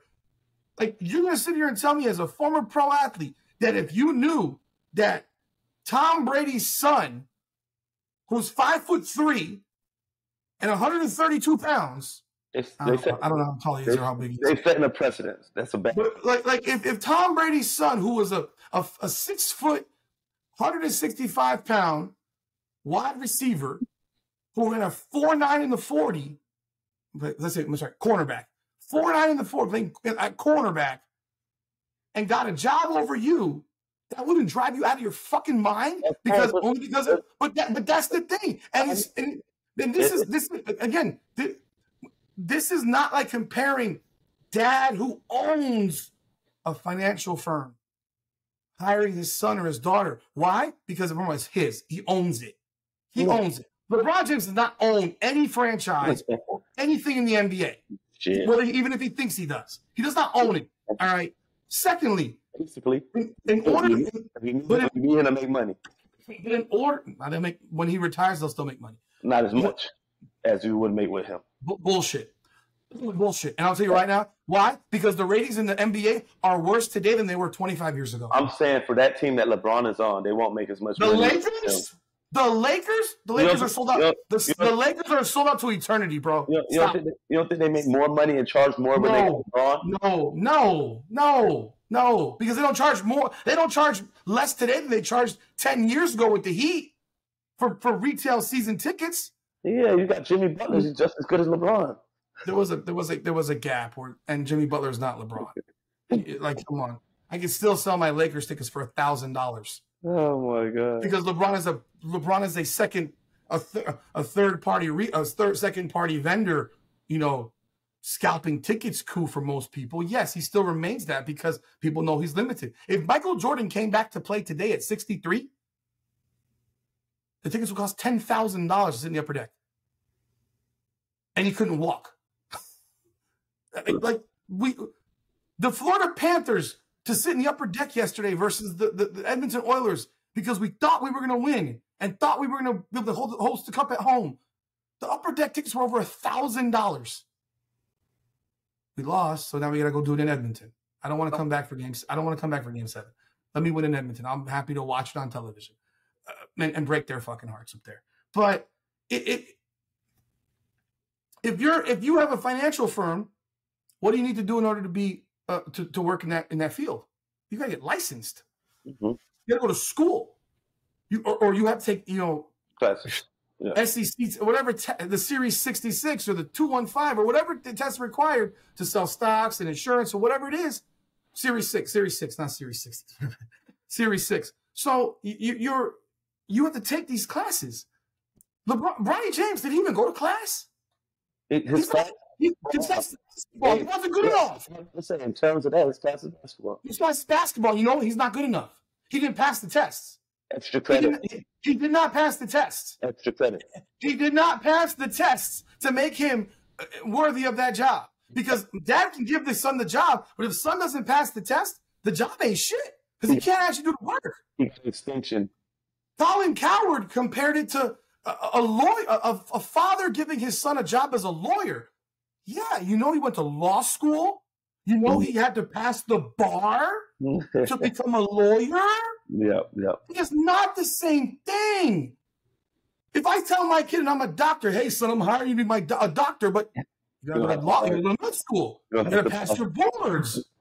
This isn't the same. This isn't remotely the same thing. This guy did not go but for a semester of college, eh, eh, it was two a semester and a half. He didn't go for he didn't go to school in the spring. Stop. Yeah.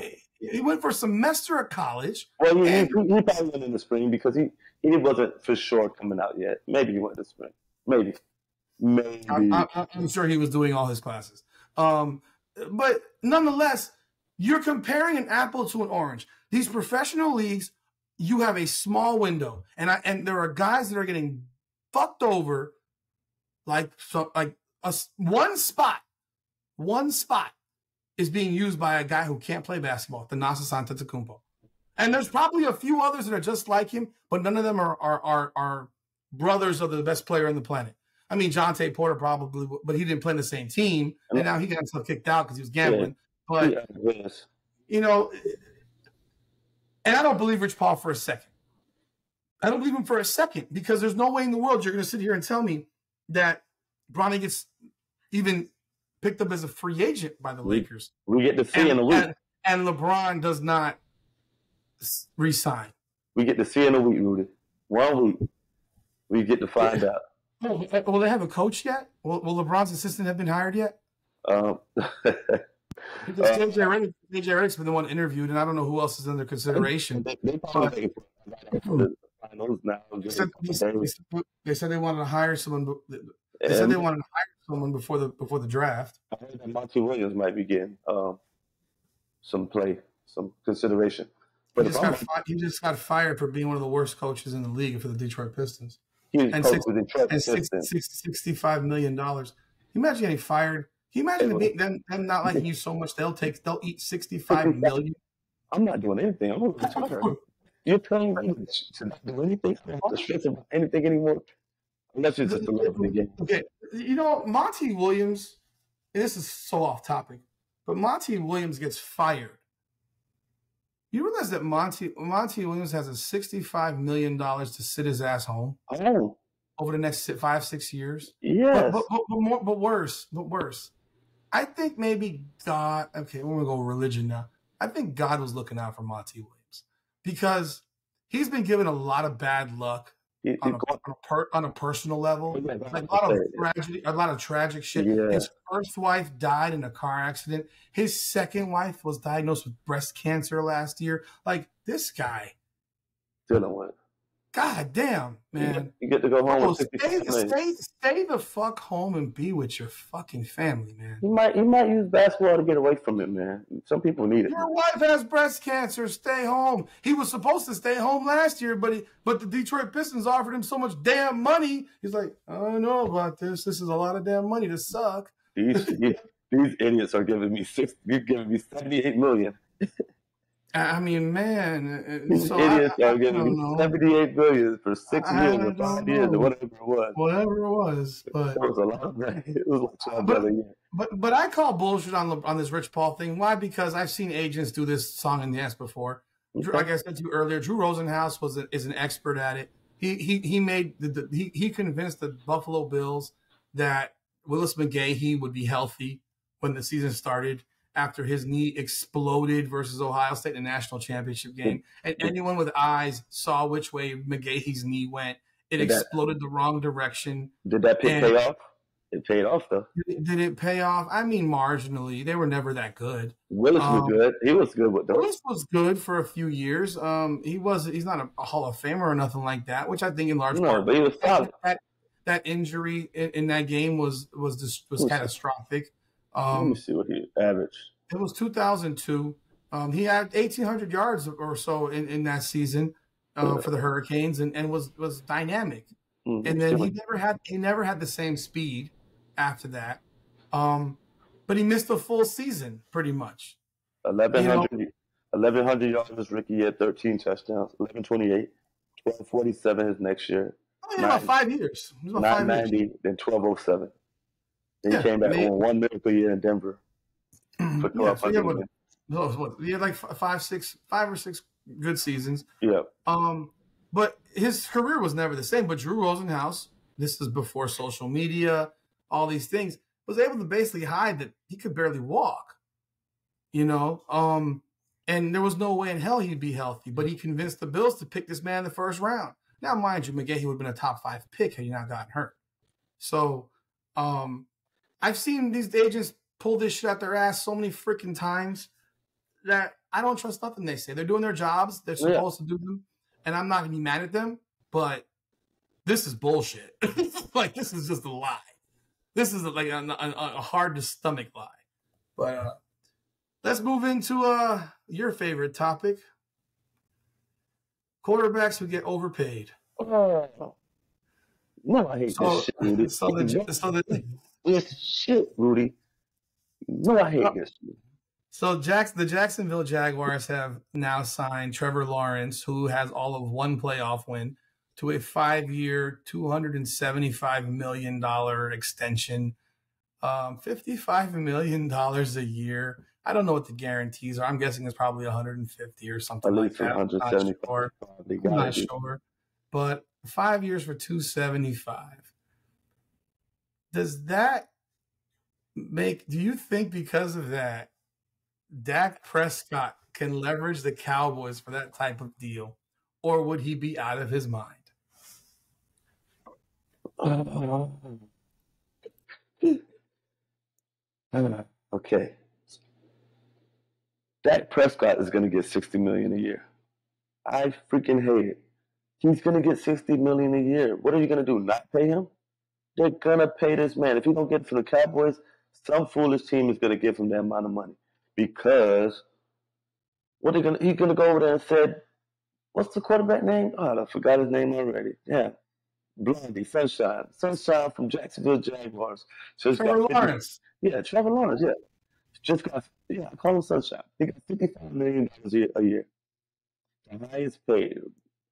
That's you know how this shit goes. When one person get it, it just goes, it just balloons more and more and more. Just like when Jimmy Garoppolo got it. Every he didn't deserve it. He won like four games in a row for the 49ers. Oh, let's pay him the highest paid. Come on, man. Make these people prove it. Make them go out there and show that they can run the team and, and be like God. Trevor hasn't done it yet. I know you're just worried that you might lose out. If we don't pay him this now, it might come back at us later. But what if you pay him now and they still come back at you later because you gave him too much damn money? And he never produces like he should produce or does anything because he doesn't he don't be that guy. you just gave him the money already. What happened to you? You got to prove it at least a little bit. He got one playoff when he do another. Come on now, man. And now Dak Prescott, he's he's gonna go over there and say, "Hey, that guy got it. He only won one playoff game. I won like three. I won three playoffs game. I'm a top quarterback in this league. My numbers is is most touchdowns in the league, and my interceptions went down last. Year. Come on, man. I got to get that man the money. And like I said, he's a top quarterback, a top 8 to 12 quarterback. But should you get based, we already had this didn't do it. He's a top 8 to 12 quarterback. Based on that, did that deserve You called him number 12. He can't be a top 8 to 12 when you called him number 12. I said he's between 8 and 12. You told and me. When I, and when I gave you names and I said which one is better, you picked the other one until we got to 12. No, no, no, no. no. number 12. No, after 8, it was like iffy up and down. Like, maybe, maybe not. Iffy? I think he's better. I think he's better than Trevor Lawrence.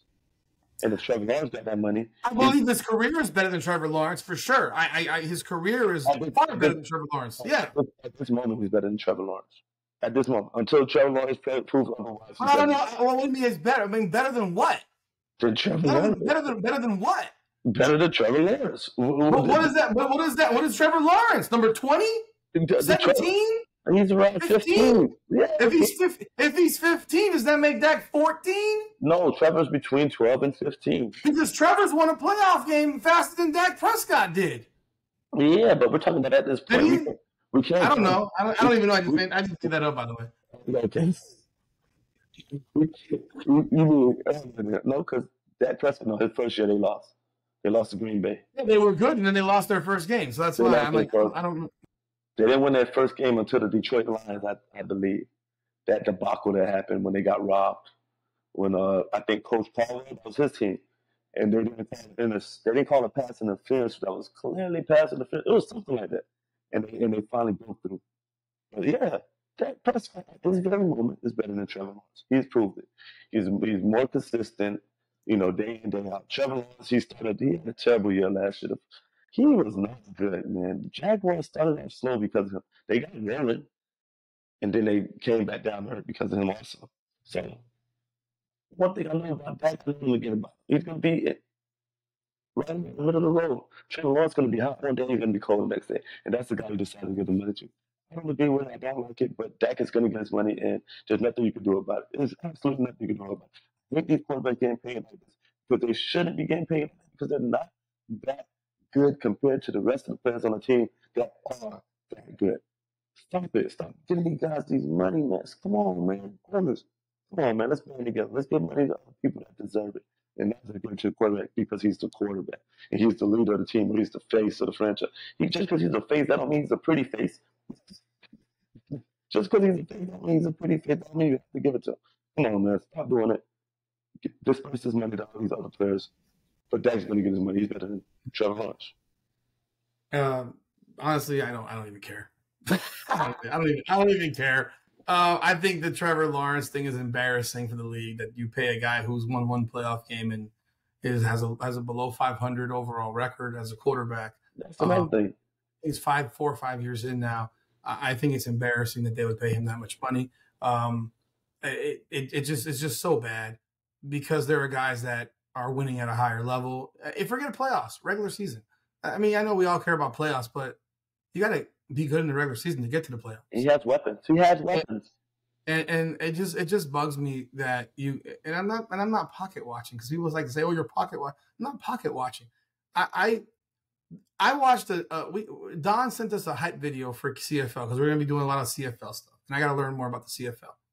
I literally felt bad for these guys for how much work that they have to they, they, they, they got to go through all this fucking videotaping and, and and photo taking and all this bullshit and the highest paid player in the CFL is what? 300, 500, 600,000 dollars?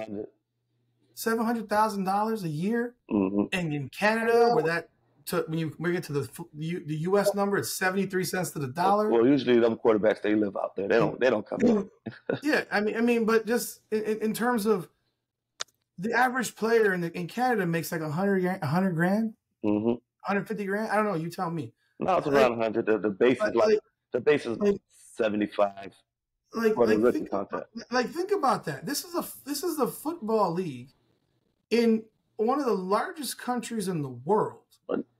And one that claims to be so caring about people and, and, and, medical and all these different things that they claim to care. So why are the football players? I mean, there's 12, what, 10, 12 teams. You're nine. telling me that there's no, there's nine now? Nine. Nine. There used to be more than that, didn't there? At one uh, point. It was. It was before because they came into. They had a couple teams in the United States. But what? Why in the world would these guys like? Is there no TSN televises everything? They don't. They don't. They don't advertise it like they should. The league doesn't market the game like they should. And, Why not?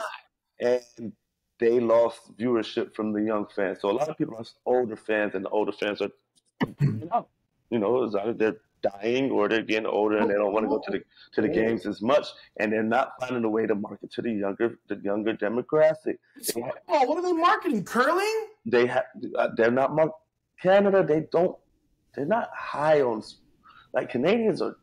I've been around these people. They're not. Hockey, they're high on. They, they love their hockey. They love their hockey, but they're not into many other sports like that. Even the Raptors games in Toronto, they have so much other things to do in Toronto that they don't really do it much more than that. They go to the Maple Leafs game, but it, it's not interesting. They they think at least in Toronto, they they're Buffalo Bills fans. They go down there to Buffalo. I know, I know yeah, I know they're Buffalo yeah, yeah. Bills. But the rest yeah. of the league, um, SAS has a pretty good following. Winnipeg has a good following.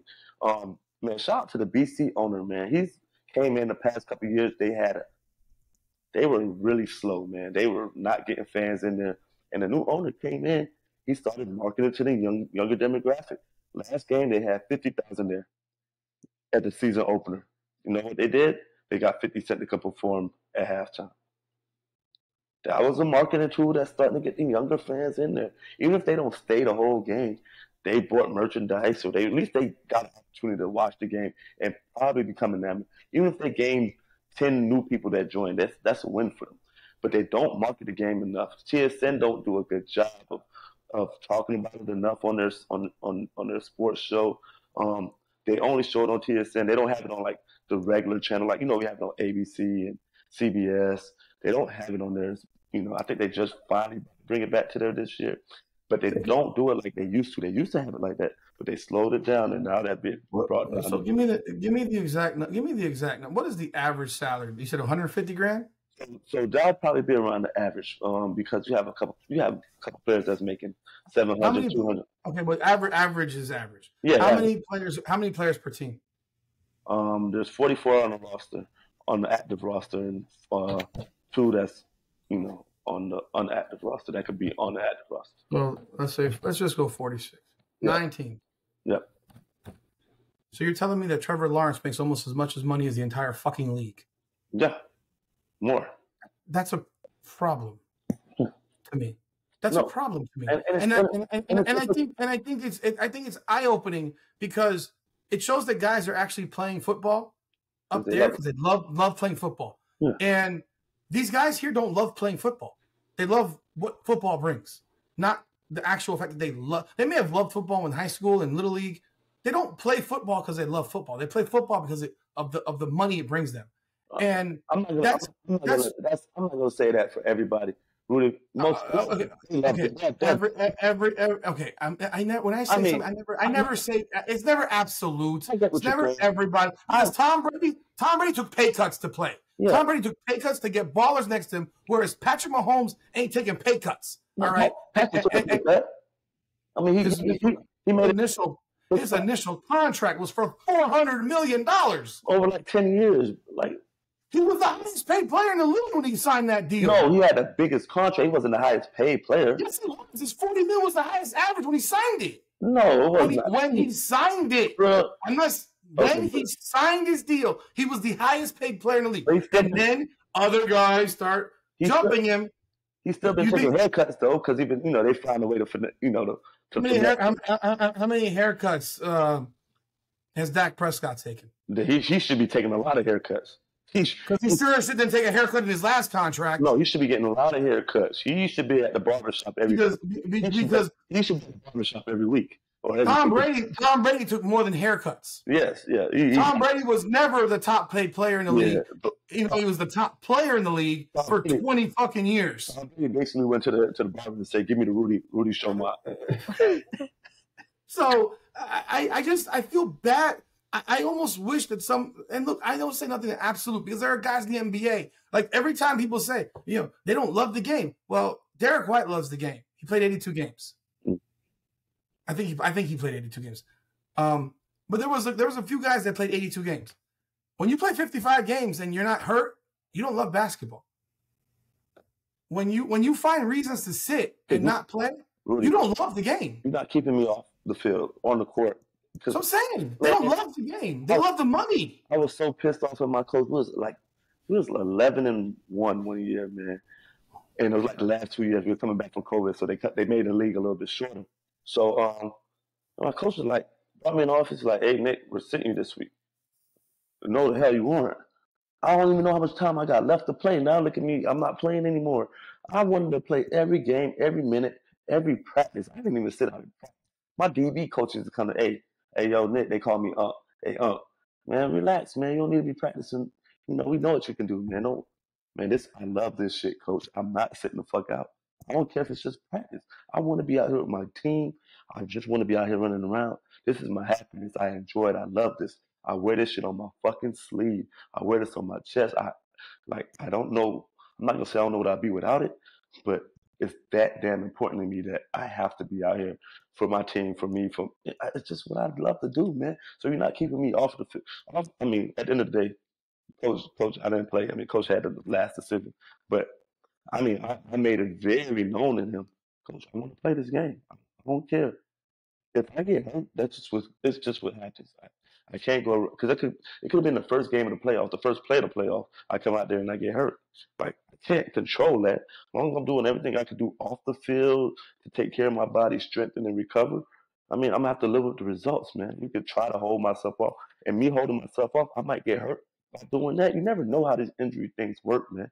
So just, I just play. And and, and that's and that's all I'm saying. Like I don't. I almost feel, I feel bad for those guys because like they play because they love it, and these guys in the NFL they're so worried. All they're worried about is their next deal. They're worried about their next contract. They're worried about setting themselves up for lives and the lives of their family. And, and I and I understand that, and I get and I get and I get that. Mm-hmm. But you want to you know what I also get? I know that fans are spending a fortune to watch what I consider. I mean, I, I feel that way about pretty much every sport nowadays. A substandard product because I grew up watching football, and this is not what I grew up watching. I watch basketball. This is not what I grew up watching. Baseball is starting to do some of this dumb shit that I cannot. Like the Yankees just lost. Why? Because they put a fu- they have this this ghost runner in extra innings, which costs people games, which in turn costs you the playoffs, Hold which on. is not real baseball. They start on second base or something like that, right? They start on second base. This all happened because of COVID, and they never went back to the real way to play baseball, which was no one's on base in extra innings. Now in the playoffs, it goes back to real baseball. But if I lose 10 games because of a ghost runner, because all it takes is an error, a flub ball, it's and anything can happen. You know, they lost tonight because the guy threw the ball into left field, you know, on, on an unintended steal. But also the, the hit before was a pop-up that if there's no one on second, it's a single. Yeah. You, you, know, so this is not baseball anymore to me. So these leagues are fucking with the sport. They're they football is powder puff, and, and NFL NFL football is powder puff because I can't speak on Canada um, intelligently. NBA is powder puff, soft. The only sport that I really love watching today is MMA and boxing. The two sports I love watching MMA and boxing, primarily MMA. Boxing for big matches, yes, absolutely. MMA, I will watch MMA all day. I'll be watching BKFC. Um, I love combat sports because you cannot cheapen combat sports. You cannot throw in all these rules to make it not physical. And all these sports continue to damage their sport. There's a reason why no one watched the NBA finals. There's a reason why Caitlin Clark outdrew the NBA finals. There's a reason why against the Chicago Sky at 12 noon on Father's Day. There's a reason when the, re- the ratings for the NBA are worse today, despite all their attempts to make it exciting with all these points and removing rules. No traveling, you can run, you can walk eight feet, and no one will say nothing. We have video after video of guys picking up the ball, taking five steps, dribbling the ball again, and no one calling traveling. Like, how many steps does this guy get to take? We missed it, right, Rudy? We missed it, Rudy. Yeah, they, they, they, they, always miss it. I mean, you, you watch you watch this stuff, and this isn't ball. And they've done everything in NFL to remove the contact, remove the hitting. Now we're gonna have the most funky looking, quirky kickoffs ever. Like, let's just not. Let's, better than it was before. How, well, no, it, it's not better. If it was better, they'd move the goddamn kicker back to the 10 yard line no. and make him kick that shit fucking, and, and, people would return that shit from the 20. It's better than it was before. You weren't getting it's anything. Better. You weren't getting anything. You had to get some well, returns now. Nick, Nick, Nick, they at one point did have the kickoffs back to like the 20 and they changed it. No, no, they I keep get, fucking I, with it. I get what you're saying, but you weren't getting anything from the special teams. So now, so now I'm going to get a bunch of kickoff returns for touchdown that I don't want to have either because football is not just played on special teams. When you have Ty- I'm, if the Dolphins don't have Tyreek Hill and Jaylen Waddle and De'Von Achane back there returning kicks kickoffs, I'm gonna have a real problem with Mike McDaniel. It should be it'll be Achane. I don't think you put Waddle or in Tyreek. Two or three of those guys back there. That's my two of those. Two of those three guys should be back there because those guys are speed burners. Who they hit the hole, this shit's over. Mm. And but that's not football either to me. It's not. That's XFL hokey bullshit that they make up for, for. I mean, I don't. I don't believe in that. If it's given too much, then they're gonna take it away. But rules change but, every week. Really, you got no, but but but rules rules. Nick, football was about hitting, man. Yeah, I get what you're saying. Hitting. There's no hitting in football anymore. They're still hitting. It's just there's no hitting it's, like it's, it's controlled hitting. Controlled hitting. It's controlled. It. Controlled punching. Yeah. You can't straighten your arm. You can only punch him with your elbow bent. Like th- th- this is ridiculous. You have defensive linemen that are being fined for tackling somebody because they can't tackle the QB high. They can't tackle him low. They don't him. And they don't. They can't land on him. When they don't land, they still get called for it. They, they don't tackle him in their navel. It's a penalty. But, but mind you, while this happens, they're being tackled from behind by a left tackle or a right tackle who pushes into the damn quarterback. But you know what? You know what that is? Because now these contracts, the quarterbacks are getting 55 million, so they have to protect their ass. I I wish they would cap pro football to like a max deal of like 25 million for a quarterback. Like because this stuff because when I see guys who play for love and I see guys who play for money, if Tua Tagovailoa gets 275 million dollars, I will never watch another Dolphins. I have a problem with that's the thing. When I have a problem with somebody getting two million a game, and then you got this other person who's busting his ass and he getting one million for the whole year. Because Tua because Tua has arguably been better than Trevor How Lawrence. can you, how can you how can you how can you justify somebody getting two million per game and somebody game. and somebody getting a million for the season? Nick, Nick, Nick, the, Trevor Lawrence will make three million a game. 18, 17 games, 55 million. That's over three million a game. Because you know he's not going to play it down in the preseason. And you got a rookie who's busting his ass, protecting him on the Come O line. on, man. On the line Like. I have a problem. I, I just again, this ain't pocket watching, but this is not this. This is so out of whack. What's happening with these contracts in the NFL for quarterbacks? Well, they're And I'm but, but and they're gonna be on TV this, and I'm not. I'm not saying people they shouldn't get paid. I'm just saying it should be spread out a little bit more evenly throughout the rest of the team. That's all it- I'm it- saying. Cap cap it by position. That's all you I'm can saying. cap it by position. But you know what? TV deals are great. You know what I say to all that? How often do owners of companies spread their fucking financial wealth with their employees? I think the fact that these owners have and and I'm I'm I know I'm gonna probably ruffle feathers here. They don't have to do this. Th- th- Like people bought teams back in the day because it was an ego. Mhm. Like these these rich billionaire multimillionaires back, back those mega like multimillionaires. They're losing money. They bought they were teams lost money. Go look at Yankee Stadium in 1998 when the Yankees won 114 games. The upper deck of Yankee Stadium upper deck of Yankee Stadium was empty. Now the Yankee Stadium has 48,000 fans a game. It doesn't matter if it's raining, snowing, hot, cold, it doesn't matter. But in the 80s and 90s, Yankee Stadium was largely empty and they won four World Series in the late 90s. They were bad in the 80s, but in the late 90s, we the Yankees were 96, 98, 99, 2000. And then they were in the World Series again in 2001, uh, in the World Series in 2003, and, and, and, and then they won it again in 2009. Like, they, they fill their stadium all the time. But these teams largely lost money. Y'all definitely didn't win it. Y'all definitely didn't win it in 2003. No, we went. We went. We lost to the Mar. We lost to the Marlins. Oh, okay. I was just gonna say. Okay. We lost to the. We lost in 2001 to the to the Diamondbacks. Yep. We lost in 2003 to the Marlins, and then we won in 09. Randy Johnson. Uh, Yeah, what's my yeah. guy? Chris Schilling. Uh, yeah. Uh, it was more. It was. It, it was because Mariano Rivera blew it in the ninth. What's We my- had that game won. what's my what's the hitter for them? Number 20. Uh, yeah. I don't. I don't. Mark. Look, I don't. Mark Grace. He I had don't, like care. 50 home that year, or 50. He I don't, I, I don't. I don't care. okay. I don't care. Louis. I, I, all I know is Luis Gonzalez. there you. All, I- all, all I know is that these teams, owners bought teams, they weren't profit centers. So if it's a profit center now, why am I sharing my profit with players? I'm already paying them a fortune.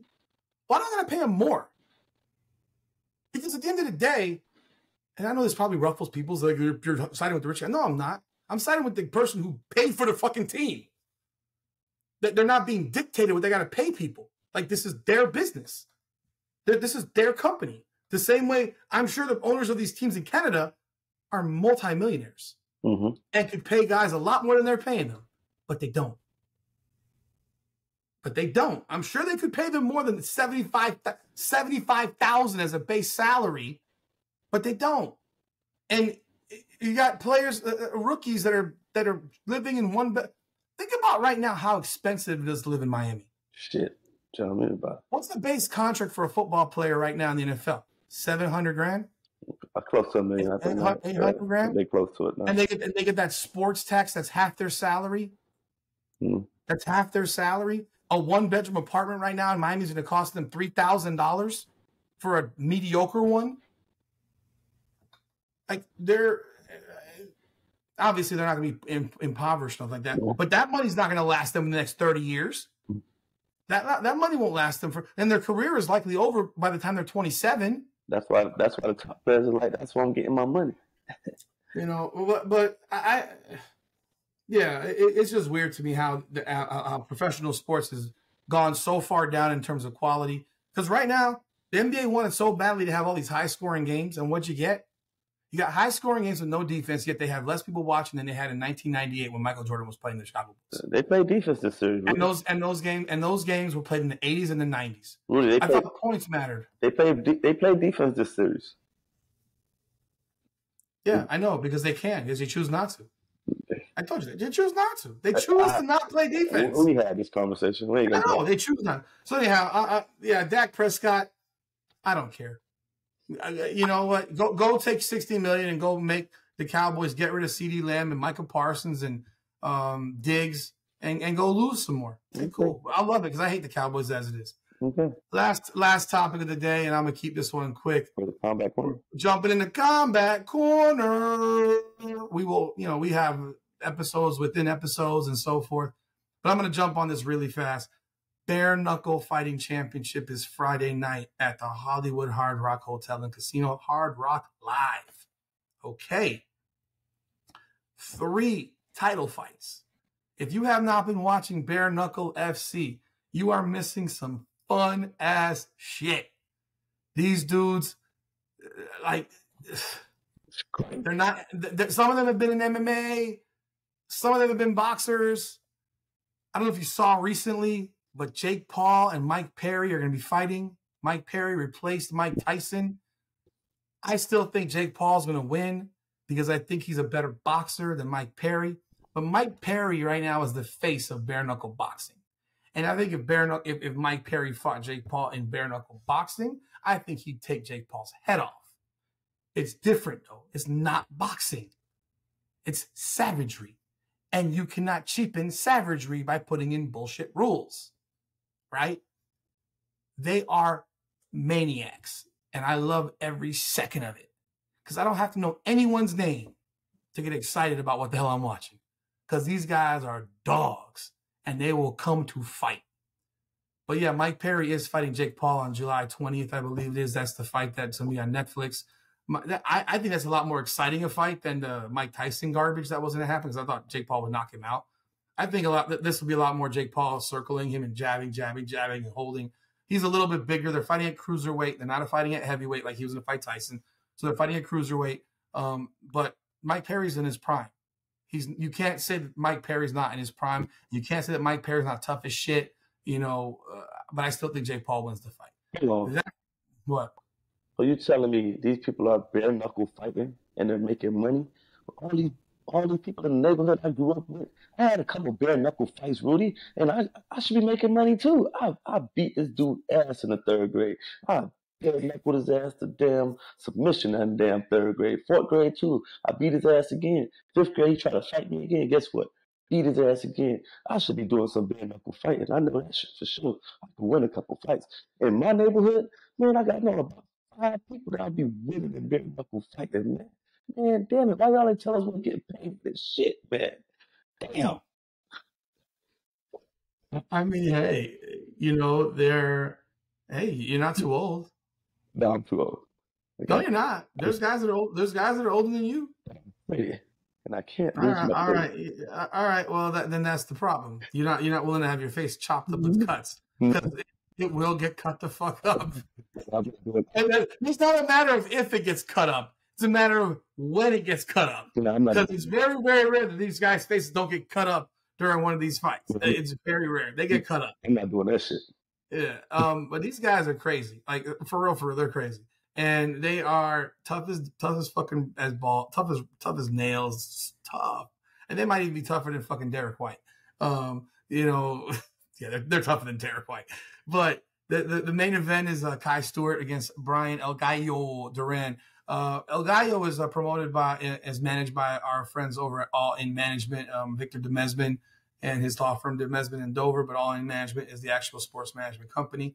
They just also had their first uh, big, they had their own MMA event last Friday. And unfortunately, I was not able to attend. I did want to go, but I had a conference for work that I had my full time job that I was at up in Palm Beach, so I was not unable to attend. But it was a fantastic showing for Double Down uh, Fight Championship, um, which they had at the Miami Radisson. Uh, Miami, it's down, it's in by the airport where they have all those. I think that's what it's called, but um, the Miami Double Tree, whatever they call it. But it's on 72nd and Millam Road in Miami.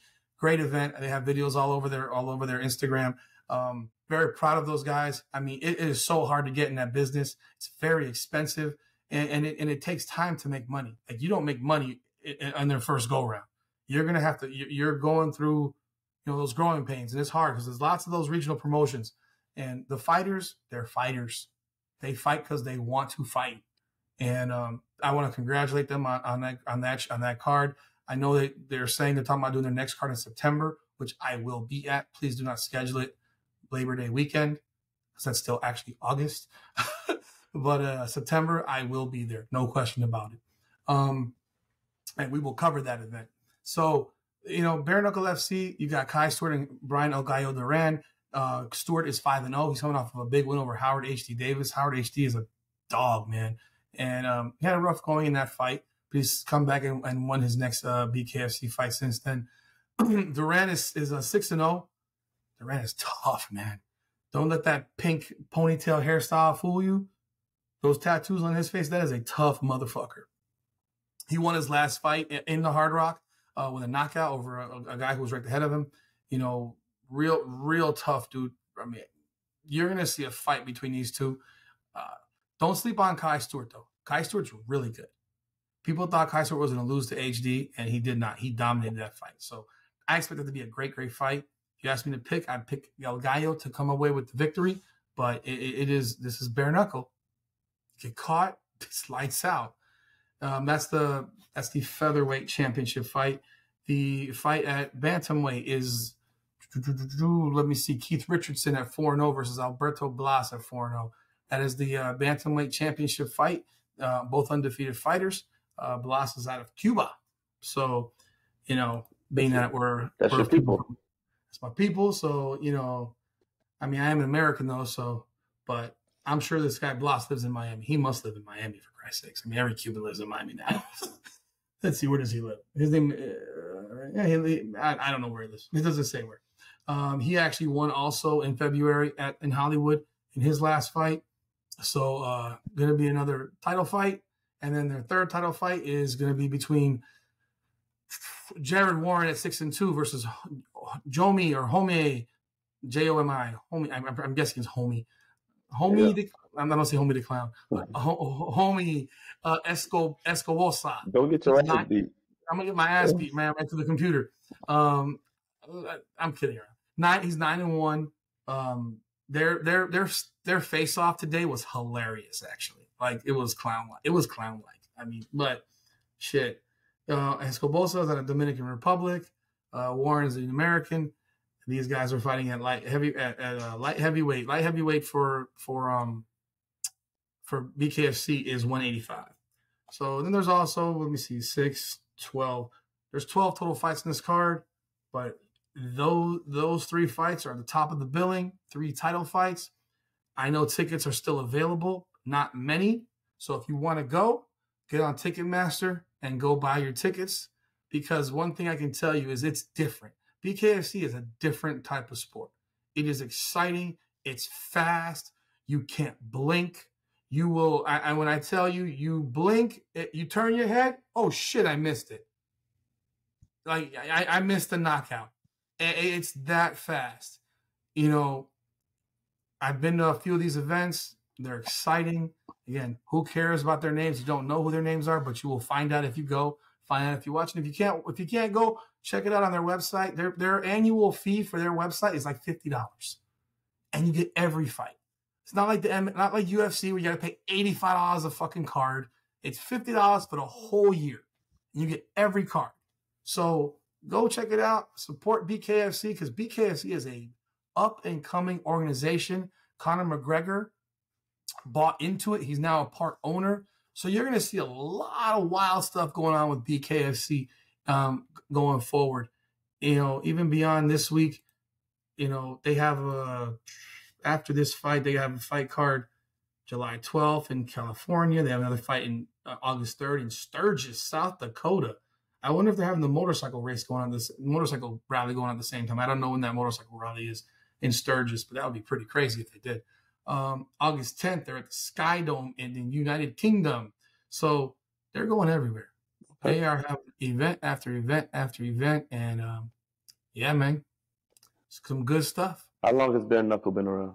Just this is this is BKFC number 62. Okay. okay. So they've now I think it's, it's like five years. Okay. Let me see. Let me see when it's when it started. 2018, six years. Okay. okay. So they've done a lot real fast, and, Okay. and and now you have. There's a lot more fighters coming over. Mike Perry in bare knuckle is exciting as shit. His fight, his win over over Thiago Alves a, a month or so, a couple months ago in um, Knuckle Mania in um in L.A. I mean, dude, dude, he's the perfect guy for bare knuckle fighting. Perfect. He's perfect. Yep. He's crazy. Yep. He's a crazy man who likes to talk Yep. and and you can't promote without a person who talks. There's so many of these fighters, eh, you know. It doesn't. I love the UFC. I love MMA. Uf, Uf, UFC and MMA are synonymous, right? Because people think MMA, they think the UFC. Although there's MMA everywhere, and there's different organizations. But UFC fighters, there- there's a certain level of properness to them. Now there are those that are like Conor who will say whatever, Colby Covington say whatever, fighters that will run their mouths, and that's fine, and and and it's cool at times. But there's a certain because it's mixed martial arts. So many of these guys that came up in jiu-jitsu and karate. Did you ever do karate as a kid? Did your No. parents ever put you in that? No, I played football from the age of five. So, but people, when you're in karate, like the first thing in karate is like it's respect. It's all respect. It's bow. It's it's it's you shake. You're you're you're not you're not fighting on the offensive. You're fighting to defend yourself. So you're never gonna be the one that's gonna strike first. And that's the thing about MMA is a lot of these guys, especially the Brazilian guys, it's big on respect. So they don't let and those Dagestani dudes like freaking Islam Makhachev and Khabib Nurmagomedov and all those guys, and they are respect. Like Dustin Poirier in their in the face off with Islam Makhachev before their fight said he called him a motherfucker. We know as Americans what he said. He wasn't calling him a motherfucker like that. Like literally, like you fuck your mother. but, uh, but in Dagestan, they take that shit literally like son of a bitch. hmm No, I'm not calling your mom a bitch. Like, come on. Yeah, yeah. It's Like, just, I'm not calling your mother a bitch. It's a figure of speech, you Yeah. know? S- So, uh, Makhachev got really, really upset, you know? And, and, and they live on that, that code of respect and stuff. So it, it's, it is in BKFC. Fuck that, man. they don't give a fuck. They don't care. yeah. El Gallo literally knocked the sunglasses off of freaking Ty Stewart's face today to see his because I, I want to see your eyes. Yeah. You know, but it's it's a trip. I, it's going to be exciting. I think it starts at eight o'clock on on Friday. Okay. Um, you know, so check it out. I'll be watching it at the same time that I'm watching Game Six of the Panthers and Edmonton Oilers. Pray to God, please win my cup. I cannot. I cannot be the the victim of two three zero situations in two years, and then potentially be in that position. Like, understand, I'm a Yankees fan. I still suffer from 2004 3-0 Red Sox and losing that series. So that's all I picture and all I envision. If I if the Boston Celtics had beat us last year, Uh, I couldn't I couldn't handle it. And if the Edmonton Oilers come back and beat us, I won't be able to handle it.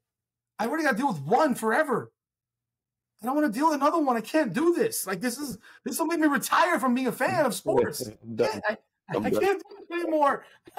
so that's all. That's all we got for Combat Corner. And oh yeah, there is. I'm sorry, there is a UFC fight card on Saturday as well. Um, Robert Whitaker is fighting. That was supposed to be the fight with Islam Makhachev. Check it out. It's not, it starts at 12 noon. Um, and then I, I think at ABC it starts at three. It doesn't have the excitement of the pop that I was hoping it would have with Makhachev. Um, not with Makhachev, Khamzat Chimaev. Khamzat Chimaev and Whitaker. It's not going to have that. That is what it is. I'm waiting for UFC 303 next week in um in Vegas. But that's all I got for come from the from Combat Corner. Okay. And um, any last words, Nick? I got one thing today. I Go usually don't. I usually don't. But this has to be said. Oh boy. My black community. Stop it. Stop it. Caitlin Clark did not get big because of Angel Reese. She did not get big because Angel Reese did the John Cena in her face. It that's that's that's not how it happened, man. Caitlin Clark was already big. She was already getting media fame. Now, what that did do was heighten the black versus white narrative that America sports love. They love that when white versus black go against each other and they battle it out in sports. They love it. But her doing that to Caitlin Clark, that did not that did not make her bigger. She was already big. It helped. It, uh, no doubt, it did help. But Angel Reese was not the reason she was not bigger at that point either. Now, the reason that Angel Reese even did it in the first place was to get notoriety because she was mad because Caitlin Clark was getting all the fame. So if y'all are talking about that she that she was she wasn't popular, that's the main reason Angel Reese did it because Caitlin Clark was already getting all the fame and she felt that her team, her team in um, LSU deserved it. She was averaging 23 and 15 at that point. She felt like she deserved that that that notoriety. and Her teammates deserved that notoriety, and they weren't getting it. Caitlin Clark was doing it, so that's why she did it. So please stop going around and saying that Caitlin Clark wasn't as big and, and, and Angel Reese is the reason that she got that fame. No, she wasn't. Caitlin Clark was already being nationally televised. Um, she was scoring 30 points a game. People already starting to hear about her and was tuning in and was tuning in because of the style of how she played. Even though Angel Reese was getting some notoriety because of how, you know, her points and her rebounds, it was still an ugly game, but also because she's a beautiful woman to a lot of people, it helped her. But Bland behind Caitlin Clark, she got it because we enjoyed watching her game because she was just that damn good. So stop it, please. I'm pretty please. I'm tired of hearing it. That's not what happened. Oh, you're in trouble now, man. Am I lying? Is that what happened? So they keep... I know, I, I know what happened, but if you say anything to the contrary, it's and I like and, uh, and I don't have a problem with Angel Reese. I, I don't want y'all to think that I'm a coon. I'm what's my guy name? From what's the big guy name that they don't like? Oh, Whitlock. Uncle, uh, Whitlock. Oh, Whitlock. Oh. Whitlock. Yeah. Oh man, I'm not that it's guy. Not I just keep it real, man. That's not why Caitlin Clark got notoriety. It wasn't because because of this move. Oh, she was. I know. Caitlin Clark was doing it, but she was killing the people in the regular season with them she shots. Wasn't going, she wasn't going around chasing people and doing it. And, and, and, when she did it, she did it from 50 feet away to Hailey Van Lith. Yeah, so she was with Louisville. Like she did it from 50 feet away, like to the other side of the court. So, it wasn't like I'm three feet from you doing so this shit. Like the, the, NCAA took advantage of it. Kate and, and, and Angel Reese took advantage of the opportunity to go back and do it to her face because she was killing and she was becoming real popular. And she was like, why not me who's averaging 23 and 15 and why not my teammates? And end of the day, that's what happened, guys. Sorry. I'm sorry to break it to y'all. Fighting, hey, man. Fighting. Fighting. Bare knuckle me. No, you'll get called a clown now. Don't worry. You'll be called a clown. You'll be called anything as, as I'm definitely going to use this clip. That's for sure. Um, shit! I'm sorry. Whatever, because that's the. I mean, it's the truth. People don't like truth. Truth telling is the most painful thing on earth. The truth telling, you know, Look, you can admit one. It's okay. Look, this is my last word. You can admit it. And I would have no problem admitting. It's the same way Brazilians are, you know, who started jujitsu from Japan. Japan, then ju- they taught it to the Brazilians. Brazilians basically did a different type of jujitsu. When UFC, when MMA started and UFC started, it was started by Brazilians, by the Gracie family. And you're you got guys that know something that have a a, a, a martial art Mhm. that no one else really knows how to do and knows and and and it's all about submission so you get taken down you don't know how to stop a takedown and you're a boxer you're like what the hell do i do down here and next thing you know you're being strangled and you're like what the fuck i don't think brazilians are all that happy that tons of americans now know how to do jiu-jitsu and beat them at their own shit it probably bugs them a little bit because they feel like they're the ones that brought it. It's their shit. We can be honest. Professional sports, primarily in basketball and football, are played primarily by black athletes.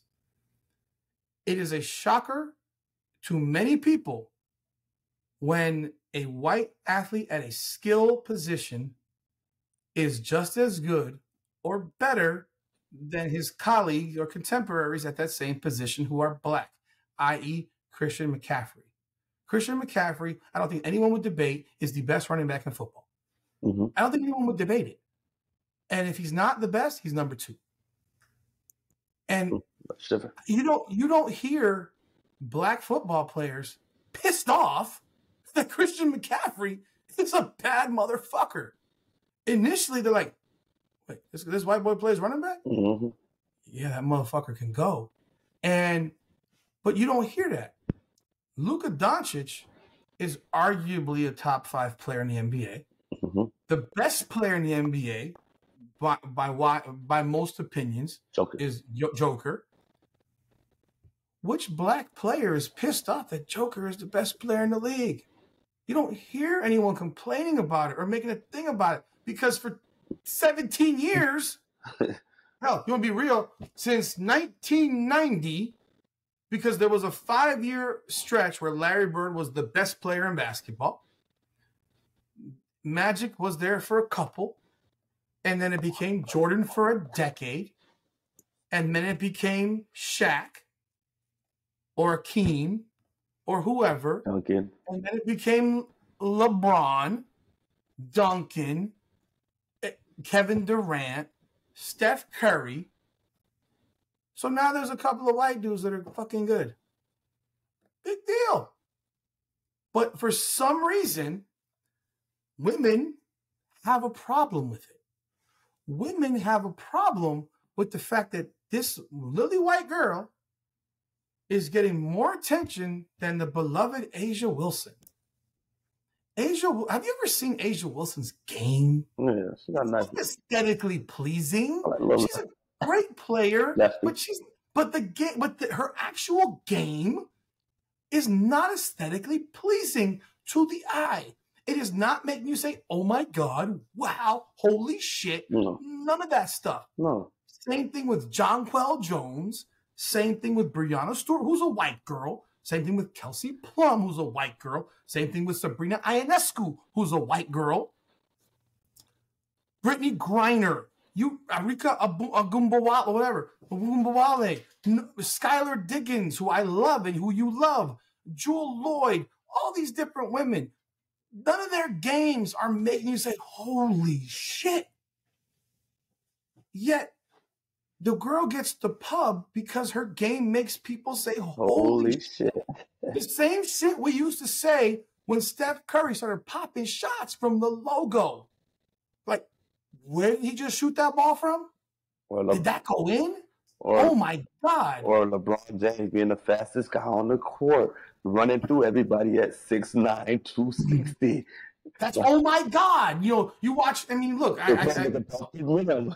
like when he would dunk the ball as a rookie, his chin was at the rim. Like, like that's oh my God. And and, and that's what makes people watch sports. Allen Iverson, his crossover was I great. don't I don't want to I don't want to say this, but I'm gonna fucking say it. Oh, Lord.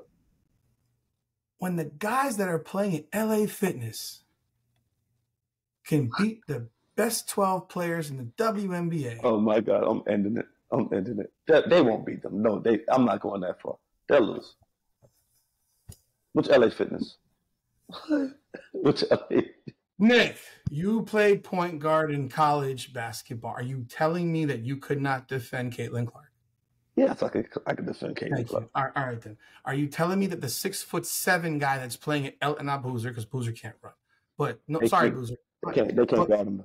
but the six seven guys pogo sticks that are at LA Fitness, who who who's gonna guard them? There's, can't- there's a couple good ones. between, between Kamilla Cardoso and Angel Reese, neither can get more than three inches off the ground.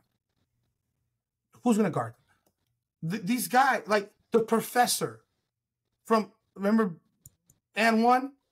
He goes to the parks and murders people. He's 37, 38 years old.